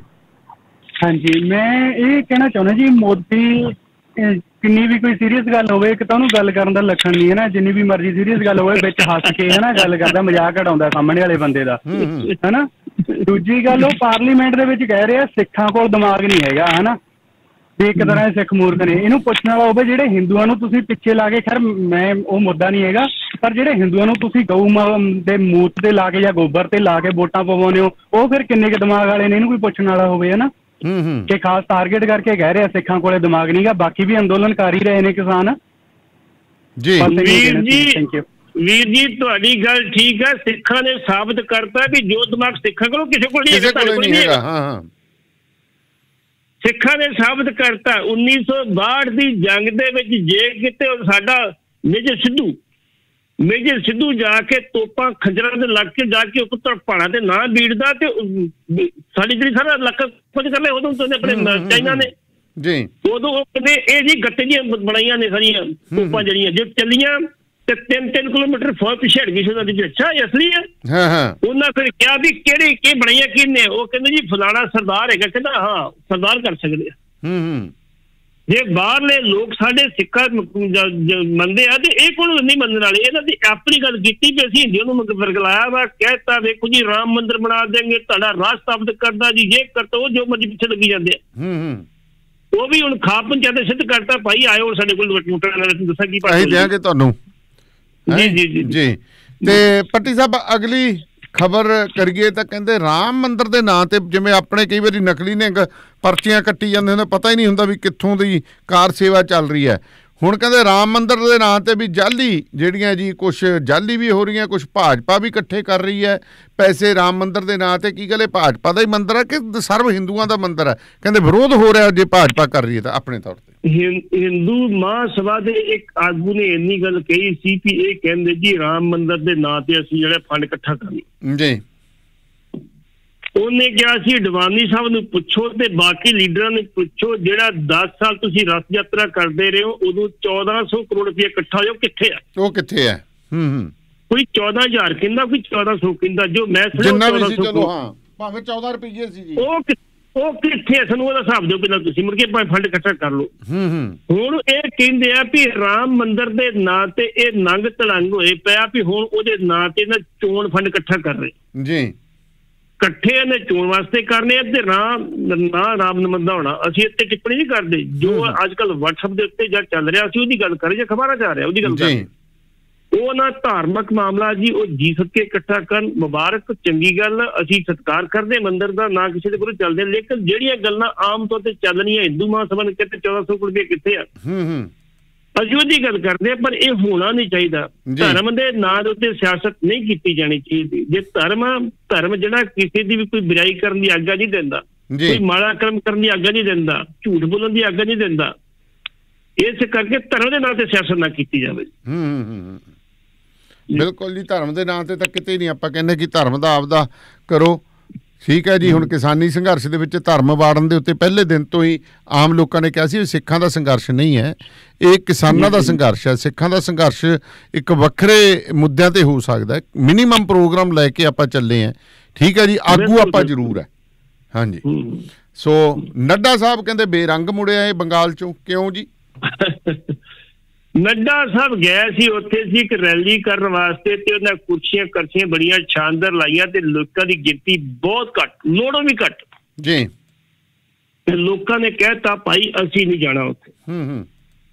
ਕਿਉਂਕਿ ਤੁਹਾਨੂੰ ਪਤਾ ਹੋਵੇਗਾ ਅਖਬਾਰਾਂ ਛਪ ਗਿਆ ਹੋਏਗਾ ਕਿ ਜਿਹੜੀ ਯੂਪੀ ਦੀ ਸਰਕਾਰ ਉਹਨਾਂ ਨੇ ਜਿਹੜੇ ਚੌਧਰੀ ਚਰਨ ਸਿੰਘ ਦੇ ਪੁੱਤਰ ਜਨ ਚਟਾਲਾ ਜਨ ਜਨ ਸਿੰਘ ਦੇ ਉੱਤੇ ਜੀ ਜੀ। ਚੌਧਰੀ ਜਨ ਸਿੰਘ ਦੇ ਉੱਤੇ ਨਾਲ ਉਹਦੇ 5000 ਦੇ ਵਰਕਰ ਦੇ ਪਰਚਾ ਦਰਜ ਕਰਤਾ ਹੈ। ਹੂੰ ਹੂੰ। ਪਰਚਾ ਕੀ ਦਰਜ ਕੀਤਾ ਵੀ ਤੁਸੀਂ ਇੱਥੇ ਮਹਾਂ ਪੰਚਾਇਤ ਕੀਤੀ ਹੈ ਤੇ ਮਹਾਂ ਪੰਚਾਇਤ ਦੀ ਕਾਨੂੰਨ ਦਾ ਖਤਰਾ ਸੀ ਤੁਸੀਂ ਕਾਨੂੰਨ ਦੀ ਉਲੰਘਣਾ ਸੀ ਜਿਹੜਾ ਦੇਖਦਾ ਪਰਚਾ ਦਰਜ ਕੀਤਾ ਜਾਂਦਾ ਵਾ। ਜੀ। ਉਹਨਾਂ ਕਿਹਾ ਵੀ ਤੁਸੀਂ ਉੱਥੇ ਪਰਚਾ ਦਰਜ ਕਰੋ ਸਾਡੇ ਤੇ ਵੀ ਕਰੋ ਤੁਸੀਂ ਵਾਪਸ ਆਓ ਤੁਸੀਂ ਆਉਂਦੇ ਨਹੀਂ ਇੱਥੇ। ਹੂੰ ਹੂੰ। ਮਤਲਬ ਇਹ ਬੜਾ ਵੱਡਾ ਸੈੱਟ ਬਕਿਆ ਵੀ ਬੀਜੇਪੀ ਦਾ ਪ੍ਰਧਾਨ ਉੱਥੇ ਰੈਲੀ ਕਰਨ ਗਿਆ ਹੋਵੇ ਤੇ ਰੈਲੀ ਕਰਨ ਤੋਂ ਬਰੰਗ ਵਾਪਸ ਆਵੇ। ਜੀ। ਇਹਦੀ ਚਰਚਾ ਕਾਫੀ ਹੋ ਰਹੀ ਹੈ ਸਾਡੀ ਗੋਦੀ ਮੀਡੀਆ ਜਾਂ ਮੋਦੀ ਮੀਡੀਆ ਤੇ ਬਿਲਕੁਲ ਸੋਸ਼ਲ ਮੀਡੀਆ ਤੇ ਖਬਰਾਂ ਚੱਲ ਰਹੀਆਂ ਨੇ। ਹੂੰ ਹੂੰ। ਤੇ ਹੁਣ ਨੱਡਾ ਸਾਹਿਬ ਆ ਕੇ ਕੀ ਜਵਾਬ ਦੇਣਗੇ? ਉਹਨਾਂ ਨੂੰ ਤੇ ਜੇ ਉੱਥੋਂ ਦੀ ਲੀਡਰਸ਼ਿਪ ਕੀ ਜਵਾਬ ਦੇਗੀ ਉਹਨਾਂ ਨੂੰ? ਹੂੰ, ਇਹ ਹੂੰ। ਸੰਕੇਤ ਮਿਲਦੇ ਆ ਕਿ ਬੀਬੀ ਮਜ਼ਬੂਤ ਹੋ ਰਹੀ ਹੈ ਇੱਥੇ ਦਿਨ ਦਿਨ ਜੀ ਜੀ। ਜੀ। ਚਲੋ ਚੰਗੀ ਗੱਲ ਹੈ ਜੀ। ਤੇ ਬੀਬੀ ਮਜ਼ਬੂਤ ਹੋ ਜੇ ਥੋੜਾ ਜਿਹਾ ਲੋੜ ਵੀ ਆ ਪਤਾ ਲੱਗ ਜੇ ਇਹਨਾਂ ਨੂੰ। ਹੈ ਜੀ ਜੀ ਜੀ ਤੇ ਕਹਿੰਦੇ ਜਿਹੜਾ ਉੱਤਰਾਖੰਡ ਦੇ ਵਿੱਚ ਘਟਨਾ ਵਾਪਰੀ ਹੈ ਗਲੇਸ਼ੀਅਰ ਵਾਲੀ ਇਹ ਕਹਿੰਦੇ ਇਹਦੇ। ਪਿੱਛੇ ਵੀ ਇੱਕ ਸਾਜ਼ਿਸ਼ ਨਜ਼ਰ ਆ ਰਹੀ ਹੈ ਕੁਝ ਜੀ। ਬੜੀ ਵੱਡੀ ਸਾਜ਼ਿਸ਼ ਹੈ ਜੀ। ਜੀ। 1962 ਦੇ ਵਿੱਚ ਜਦੋਂ ਚਾਈਨਾ ਨੇ ਅਟੈਕ ਕੀਤਾ ਇੰਡੀਆ ਦੇ ਵਿੱਚ ਤੇ ਮੁੜ ਕੇ 1965 ਵਿੱਚ ਅਮਰੀਕਾ ਦੀ ਏਜੰਸੀ CIA ਤੇ ਸਾਡੀ ਆਈਬੀ ਹੂੰ ਹੂੰ। ਇਹਨਾਂ ਨੇ ਇੱਕ ਜੁਆਇੰਟ ਆਪਰੇਸ਼ਨ ਕੀਤਾ ਸੀ। ਜੀ। ਉਸ ਆਪਰੇਸ਼ਨ ਦੇ ਵਿੱਚ ਇਹਨਾਂ ਕੋਈ ਨਿਊਕਲੀਅਰ ਡਿਵਾਈਸ ਜਿਹੜਾ ਜਾ ਕੇ ਉੱਤੇ ਫਿੱਟ ਕਰਨਾ ਸੀ ਉਸ ਪਾਸੇ ਹੂੰ ਹੂੰ। ਪਹਾੜਾਂ ਦੇ ਵਿੱਚ। ਜੀ। ਜਦੋਂ ਇਹ ਨਿਊਕਲੀਅਰ ਡਿਵਾਈਸ ਫਿੱਟ ਕਰ ਗਏ ਤੇ ਇੰਨਾ ਕੁ ਤਗੜਾ ਤੂਫਾਨ ਆਇਆ ਵੀ ਉਹ ਛੱਡ ਕੇ ਭੱਜੇ ਜੀ। ਮੁੜ ਕੇ ਇਹ ਕਈ ਵਾਰੀ ਲੱਭਣ ਗਏ ਤੇ ਉਹਨਾਂ ਨੂੰ ਉਹ ਡਿਵਾਈਸ ਨਹੀਂ ਲੱਭਾ। ਉਹ ਲਾਇਆ ਸੀ ਚਾਈਨਾ ਕਰਕੇ ਵੀ ਚਾਈਨਾ ਉਧਰੋਂ ਆਊਗਾ ਲੋਡ ਪੂ ਅਸੀਂ ਬਟਨ ਦਬਾਵਾਂਗੇ ਚੱਲ ਜੂਗਾ ਤਾਂ ਨੁਕਸਾਨ ਹੋਊਗਾ। ਜੀ। ਲੇਕਿਨ ਉਹ ਡਿਵਾਈਸ ਜਿਹੜਾ ਸੀਗਾ ਉਹ ਮੁੜ ਕੇ ਲੱਭਾ ਹੀ ਨਹੀਂ ਇਹਨਾਂ ਨੂੰ। ਮੁੜ ਕੇ ਇਹਨਾਂ ਲੱਭਣਾ ਛੱਡਤਾ ਵੀ ਚਲੋ ਖਰਾਬ ਕਿਉਂ ਹੋ ਜਾਊਗਾ ਜਿਹੜਾ ਗਲ ਸੜ ਜਾਊ ਕੋਈ ਗੱਲ ਨਹੀਂ। ਹੂੰ ਹੂੰ। ਹੁਣ ਜਿਹੜੇ ਉੱਥੋਂ ਦੇ ਲੋਕ ਇਹ ਗੱਲ ਕਹਿੰਦੇ ਆ ਕਿ ਉਹ ਜਿਹੜਾ ਡਿਵਾਈਸ ਸੀ ਉਹਨੇ ਨੁਕਸਾਨ ਪਹੁੰਚਾਇਆ ਜੀ। 2017 ਵਿੱਚ ਇਹਨਾਂ ਨੇ ਉੱਥੇ ਬਲਾਸਟਿੰਗ ਦੀ ਬੰਦ ਕਰਤਾ ਸੀਗਾ ਸੁਪਰੀਮ ਹਾਈ ਕੋਰਟ। ਜੀ। ਉੱਤਰਾਖੰਡ ਹਾਈ ਕੋਰਟ ਨੇ ਬੰਦ ਕਰਤਾ ਸੀ ਕਿ ਤੁਸੀਂ ਬਲਾਸਟ ਨਹੀਂ ਕਰ ਸਕਦੇ। ਹਾਂ ਬਿਲਕੁਲ ਲੋਕਾਂ ਉਸ ਚੀਜ਼ ਨੇ ਕਿਉਂਕਿ ਉਹਦੇ ਨਾਲ। ਗਲੇਸ਼ੀਅਰ ਹਿਲਦੇ ਨੇ ਬਹੁਤ ਦੂਰ ਦੂਰ ਤੱਕ ਧਮਾਕੇ ਹੁੰਦੇ ਨੇ। ਹਾਂਜੀ। ਇਹ ਫਿਰ ਵੀ ਬਲਾਸਟ ਕਰਦੇ ਨੇ ਦੇਰ ਸਵੇਰ ਅੱਛਾ ਪੜਾਕੇ ਉਹ ਬਲਾਸਟ ਕਰਨ ਤੋਂ ਇਹ ਕਹਿੰਦੇ ਆ ਕਿ ਉਹ ਡਿਵਾਈਸ ਜਿਹੜਾ ਉਹ ਚੱਲ ਗਿਆ। ਹੂੰ। ਇਹ ਤੋਂ ਡਿਨਾਈ ਗਵਰਨਮੈਂਟ ਵੀ ਨਹੀਂ ਕਰਦੀ। ਸਾਡੇ ਜਿਹੜੇ ਵਿਗਿਆਨੀ ਉਹ ਵੀ ਡਿਨਾਈ ਨਹੀਂ ਕਰਦੇ ਕਿ ਉਹ ਜਿਹੜਾ ਡਿਵਾਈਸ ਉਤੋਂ ਨਹੀਂ ਹੈਗਾ ਨਹੀਂ ਹੈਗਾ ਨਹੀਂ ਹੈਗਾ ਸੀ। ਹੂੰ ਹੂੰ। ਉਹ ਕਹਿੰਦੇ ਆ ਵੀ ਉਹਦੇ 4-5 ਪਾਰਟ ਸੀਗੇ ਕਿ ਜੇ ਉਹਦਾ ਇੱਕ ਚੱਲੇ ਪਹਿਲੀ ਗੱਲ ਤੇ ਜਿਹੜਾ ਸਿਸਟਮ ਸੀ ਬਣਾਇਆ ਉਹ ਤੋਂ ਬਗੈਰ ਚੱਲ ਨਹੀਂ ਸਕਦਾ। ਜੀ। ਜੇ ਮੰਨ ਲਿਆ ਕਿ ਚੱਲ ਗਿਆ ਉਹਦਾ ਇੱਕ ਚੱਲ ਗਿਆ ਦੂਜਾ ਨਹੀਂ ਚੱਲੂਗਾ ਤੀਜਾ ਨਹੀਂ ਚੱਲੂ ਸੰਚਦੀ ਹੁਣ ਇਹ ਉਹ ਕਹਿੰਦੇ ਲੋਕ ਕਹਿੰਦੇ ਵੀ ਉਹ ਗਲੇਸ਼ੀਅਰ ਨਹੀਂ ਫਟਿਆ ਉਹ ਜਿਹੜਾ ਡਿਵਾਈਸ ਉਹ ਫਟਿਆ ਜਿਹਦੇ ਕਰਕੇ ਇੰਨਾ ਨੁਕਸਾਨ ਹੋਇਆ। 1500 ਕਰੋੜ ਦਾ ਤਪਬਨ ਜਿਹੜਾ ਹੈਗਾ ਸੀ ਤੁਹਾਡਾ ਬੰਨ ਸਾਰੇ ਸਾਰੇ ਰੁੜ ਗਿਆ। ਹੂੰ ਹੂੰ। ਹੁਣ ਇਹ ਜਿਹੜੀ ਖਬਰ ਬਾਅਦ ਵਿੱਚ ਜਾ ਕੇ ਪੱਤਰਕਾਰ ਨੇ ਕੱਢੀ ਹੈ ਪਹਿਲਾਂ ਤੇ ਕਹਿੰਦੇ ਰਹੇ ਜੀ ਗਲੇਸ਼ੀਅਰ ਫਟਿਆ ਗਲੇਸ਼ੀਅਰ ਫਟਿਆ ਗਲੇਸ਼ੀਅਰ ਫਟਿਆ ਇਹ ਗੱਲ ਕਹਿੰਦੇ ਰਹੇ ਜੀ। ਉਹਦੇ ਤੇ ਇਹ ਜਾਂ ਤੇ ਸਰਕਾਰ ਡਿਨਾਈ ਕਰੇ ਵੀ ਨਹੀਂ ਗੱਲ ਹੈਗੀ। ਕਹਿੰਦੇ ਉੱਥੇ ਡਿਵਾਈਸ ਹੈਗਾ ਸੀ ਲੇਕਿਨ ਡਿਵਾਈਸ ਨਹੀਂ ਫਟਿਆ। ਹੂੰ ਹੂੰ। ਲੇਕਿਨ ਉਹ ਕਹਿੰਦੇ ਵੀ ਜਿਹੜਾ ਉੱਥੋਂ ਹੁਣ ਪਾਣੀ ਆ ਰਿਹਾ ਜਾਂ ਗਾਰ ਹੈ ਚ ਬੋ ਬੜੀ ਆ ਰਹੀ ਹੈ। ਜੀ।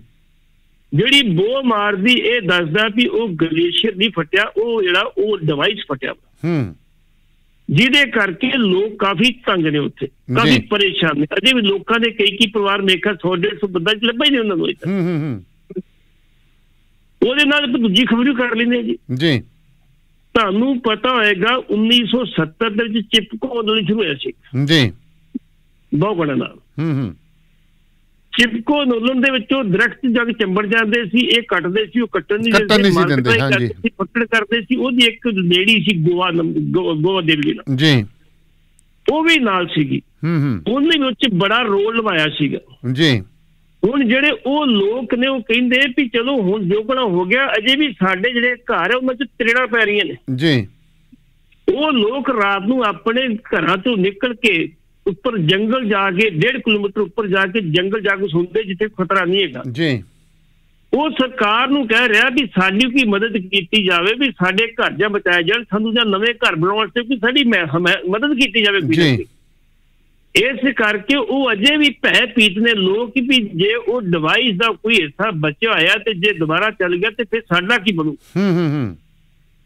ਉਹਦੇ ਕਰਕੇ ਵੀ ਇੱਕ ਇਹਦੇ ਕਰਕੇ ਵੀ ਉਹ ਜੇ ਜਿਹੜਾ ਆਪਣੀ ਸ਼ੁਰੂ ਹੋ ਗਈਆਂ ਮਕਾਨਾਂ ਦੇ ਵਿੱਚ ਉਹਦੇ ਕਰ ਵੀ ਲੋਕ ਬੜੇ ਡਰੇ ਹੋਏ ਨੇ ਤੇ ਸਰਕਾਰ ਕੋਈ ਮੰਗ ਕਰੇ ਤੇ ਸਰਕਾਰ ਅਜੇ ਬਾਂਹ ਫੜਨੀ ਤਿਆਰ ਨਹੀਂ। ਜੀ।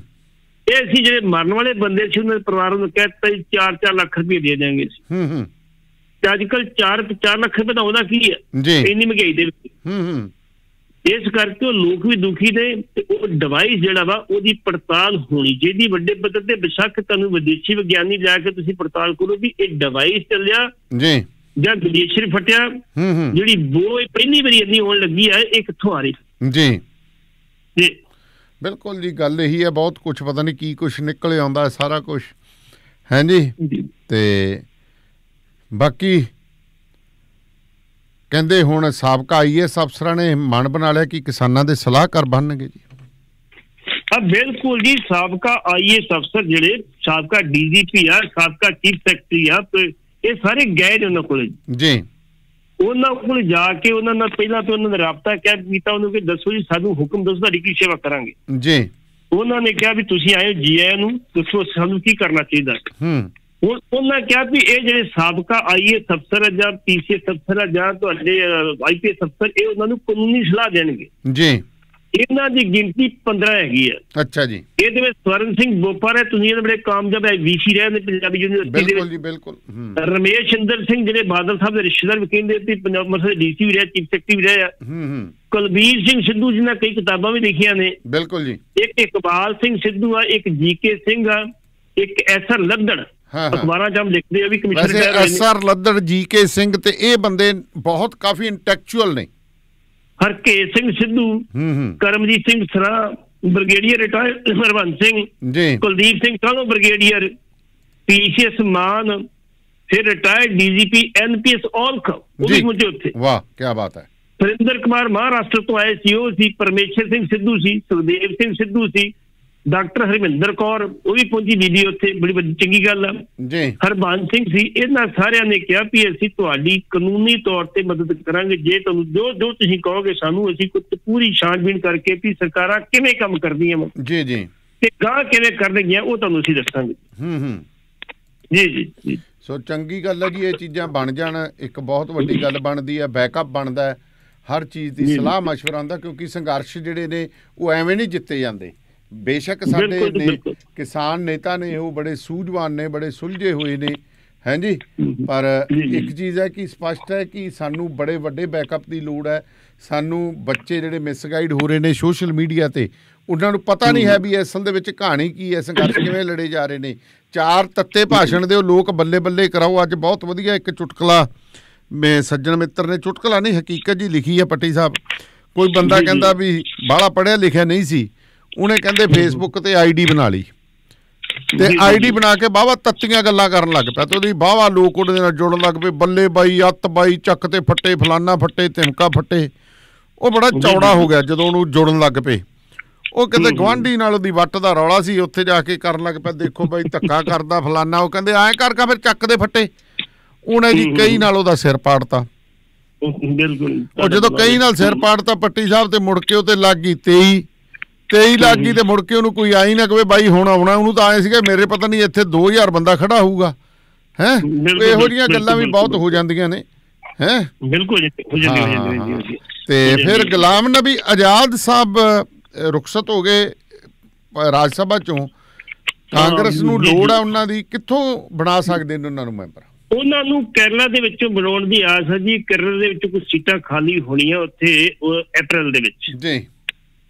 ਤੇ ਮੋਦੀ ਸਾਹਿਬ ਵੀ ਚਾਹੁੰਦੇ ਵੀ ਨਵਾਬ ਨ- ਗੁਲਾਮ ਨਬੀ ਸਾਹਿਬ ਨੂੰ ਵਰਤਿਆ ਜਾਵੇ ਕਿਸੇ ਤਰੀਕੇ ਨਾਲ। ਹਾਂ ਹਾਂ। ਕਿਉਂਕਿ ਅੱਖਾਂ ਹੰਝੂਆਂ ਦੇ ਨਾਲ ਵਧਾਈਗੀ ਦਿੱਤੀ ਐ ਇਹਨਾਂ ਹੰਝੂਆਂ ਦਾ ਕੀ ਬਿਲਕੁਲ ਕਰੀਏ? ਬਿਲਕੁਲ ਹਾਂ। ਬਿਲਕੁਲ ਹੰਝੂਆਂ ਨਾਲ ਵਿਦਾਇਗੀ ਦੇ ਦਿੱਤੀ ਉਹਨਾਂ ਨੂੰ ਲੇਕਿਨ ਮੋਦੀ ਸਾਹਿਬ ਨੂੰ ਕਿਸਾਨ ਯਾਦ ਨਹੀਂ ਆਏ। ਨਾ ਨਾ ਉਹਨਾਂ ਲਈ ਹੰਝੂ ਨਾ, ਨਾ। ਜਿਹੜੇ- ਸ਼ਹੀਦ ਹੋਏ ਨੇ ਉਹਨਾਂ ਨੂੰ ਮੋਦੀ ਨਾ ਨਾ ਨਾ ਨਾ। ਉਹਨੇ ਕੱਲ ਗੱਲ ਕਹੀ ਸੀ ਜੀ ਜਿਹੜੇ ਆਪਣੇ ਹੈਗੇ ਆ ਨਾ ਗੁਰਪ੍ਰੀਤ ਸਿੰਘ ਕੁੱਗੀ ਜੀ। ਉਹਨਾਂ ਨੇ ਉੱਥੇ ਜਾ ਕੇ ਇੱਕ ਮੈਂ ਸ਼ੇਰ ਬੋਲਿਆ ਸੀਗਾ। ਹਾਂ। ਬੜਾ ਇਹ ਇਸੇ ਦੇ ਬੋਲਿਆ ਸੀ ਬੜਾ ਪਿਆਰਾ ਸ਼ੇਰ ਸੀ ਉਹ ਪਤਾ ਨਹੀਂ ਕੋਈ ਕਿੱਥੇ ਰੱਖਿਆ ਦਾ ਲਿਖਿਆ ਸੀ ਬਕਿਆ ਤੌਰ ਤੇ। ਉਹ। ਚਲੋ ਕੋਈ ਨਹੀਂ ਕਈ ਵਾਰੀ ਰਹਿ ਜਾਂਦਾ ਹੈ ਤੇ ਇਹ ਜਿਹੜੀ ਇਹ ਜਿਹੜੀ ਸਾਡੀ ਹੈਗੀ ਹੈ ਨਹੀਂ ਜੀ ਆਪਣੀ ਨਵੀਂ ਸਾਹਿਬ ਦੀ ਇਹਨਾਂ ਨੂੰ ਉਮੀਦ ਆ ਵੀ ਅਪ੍ਰੈਲ ਤੋਂ ਅਪ੍ਰੈਲ ਦੇ ਵਿੱਚ ਜਿਹੜੀਆਂ ਕੇਰਲਾ 'ਚ ਸੀਟਾਂ ਖਾਲੀਆਂ ਉਹਦੇ ਵਿੱਚ ਇਹਨਾਂ ਨੂੰ ਫਿਰ ਵਾਪਸ ਜਿਹੜਾ ਸੀ ਰਾ- ਰਾਜ ਸਭਾ 'ਚ ਲਿਆਂਦਾ ਜਾਊਗਾ। ਜੀ। ਕਿਉਂਕਿ ਕਾਂਗਰਸੀ ਸਿਆਣੀ ਉਹ ਨਹੀਂ ਚਾਹੁੰਦੀ ਵੀ ਇਹਨਾਂ ਨੂੰ ਕਸ਼ਮੀਰ ਦੇ ਵਿੱਚ ਜਿਹੜਾ ਸੀ ਮੋਦੀ ਕਿਸੇ ਤਰੀਕੇ ਨਾਲ ਵਰਤੇ। ਜੀ। ਕਿਉਂ ਮੋਦੀ ਨੇ ਸੰਕੇਤ ਵੀ ਦਿੱਤੇ ਸੀ ਵੀ ਅਸੀਂ ਇਹਨਾਂ ਕੋਲ ਕੰਮ ਲਵਾਂਗੇ। ਹੂੰ ਹੂੰ। ਤੇ ਕੰਮ ਕੀ ਲੈਣਾ ਇਹੋ ਹੀ ਲੈਣਾ ਜੀ? ਹੋਰ ਕੀ ਲੈਣਾ ਜੀ? ਹਾਂ ਹਾਂ ਹਾਂ ਬਿਲਕੁਲ ਪਤਾ ਹੀ ਆਪਾਂ ਨੂੰ। ਜੀ ਜੀ ਜੀ ਜੀ। ਸੋ ਮਿਹਰਬਾਨੀ ਜੀ ਸ਼ੁਕਰੀਆ ਤੁਹਾਡਾ। ਧੰਨਵਾਦ। ਸੋ ਪ੍ਰੋਗਰਾਮ ਸ਼ਮਾਦਾਨ ਬਾਦ ਦਸਤੂਰ ਇਸੇ ਤਰ੍ਹਾਂ ਜਾਰੀ ਰਹੇਗਾ ਜੀ। ਫਿਲਹਾਲ ਇੱਕ ਬ੍ਰੇਕ ਦਾ ਸਮਾਂ ਤੇ ਤੁਸੀਂ ਜੁੜੇ ਰਹੋ ਰੇਡੀਓ ਪੰਜਾਬ ਟੁਡੇ ਦੇ ਨਾਲ ਤੇ ਫਿਰ ਸੱਤ ਢਿੱਲੋਂ ਤੇ ਫਿਰ ਖਬਰਾਂ ਦਾ ਸਿਲਸਿਲਾ ਚਲਾਉਂਦੇ ਜਾਂ Paccar Max Force Cummins ISX Volvo Mercedes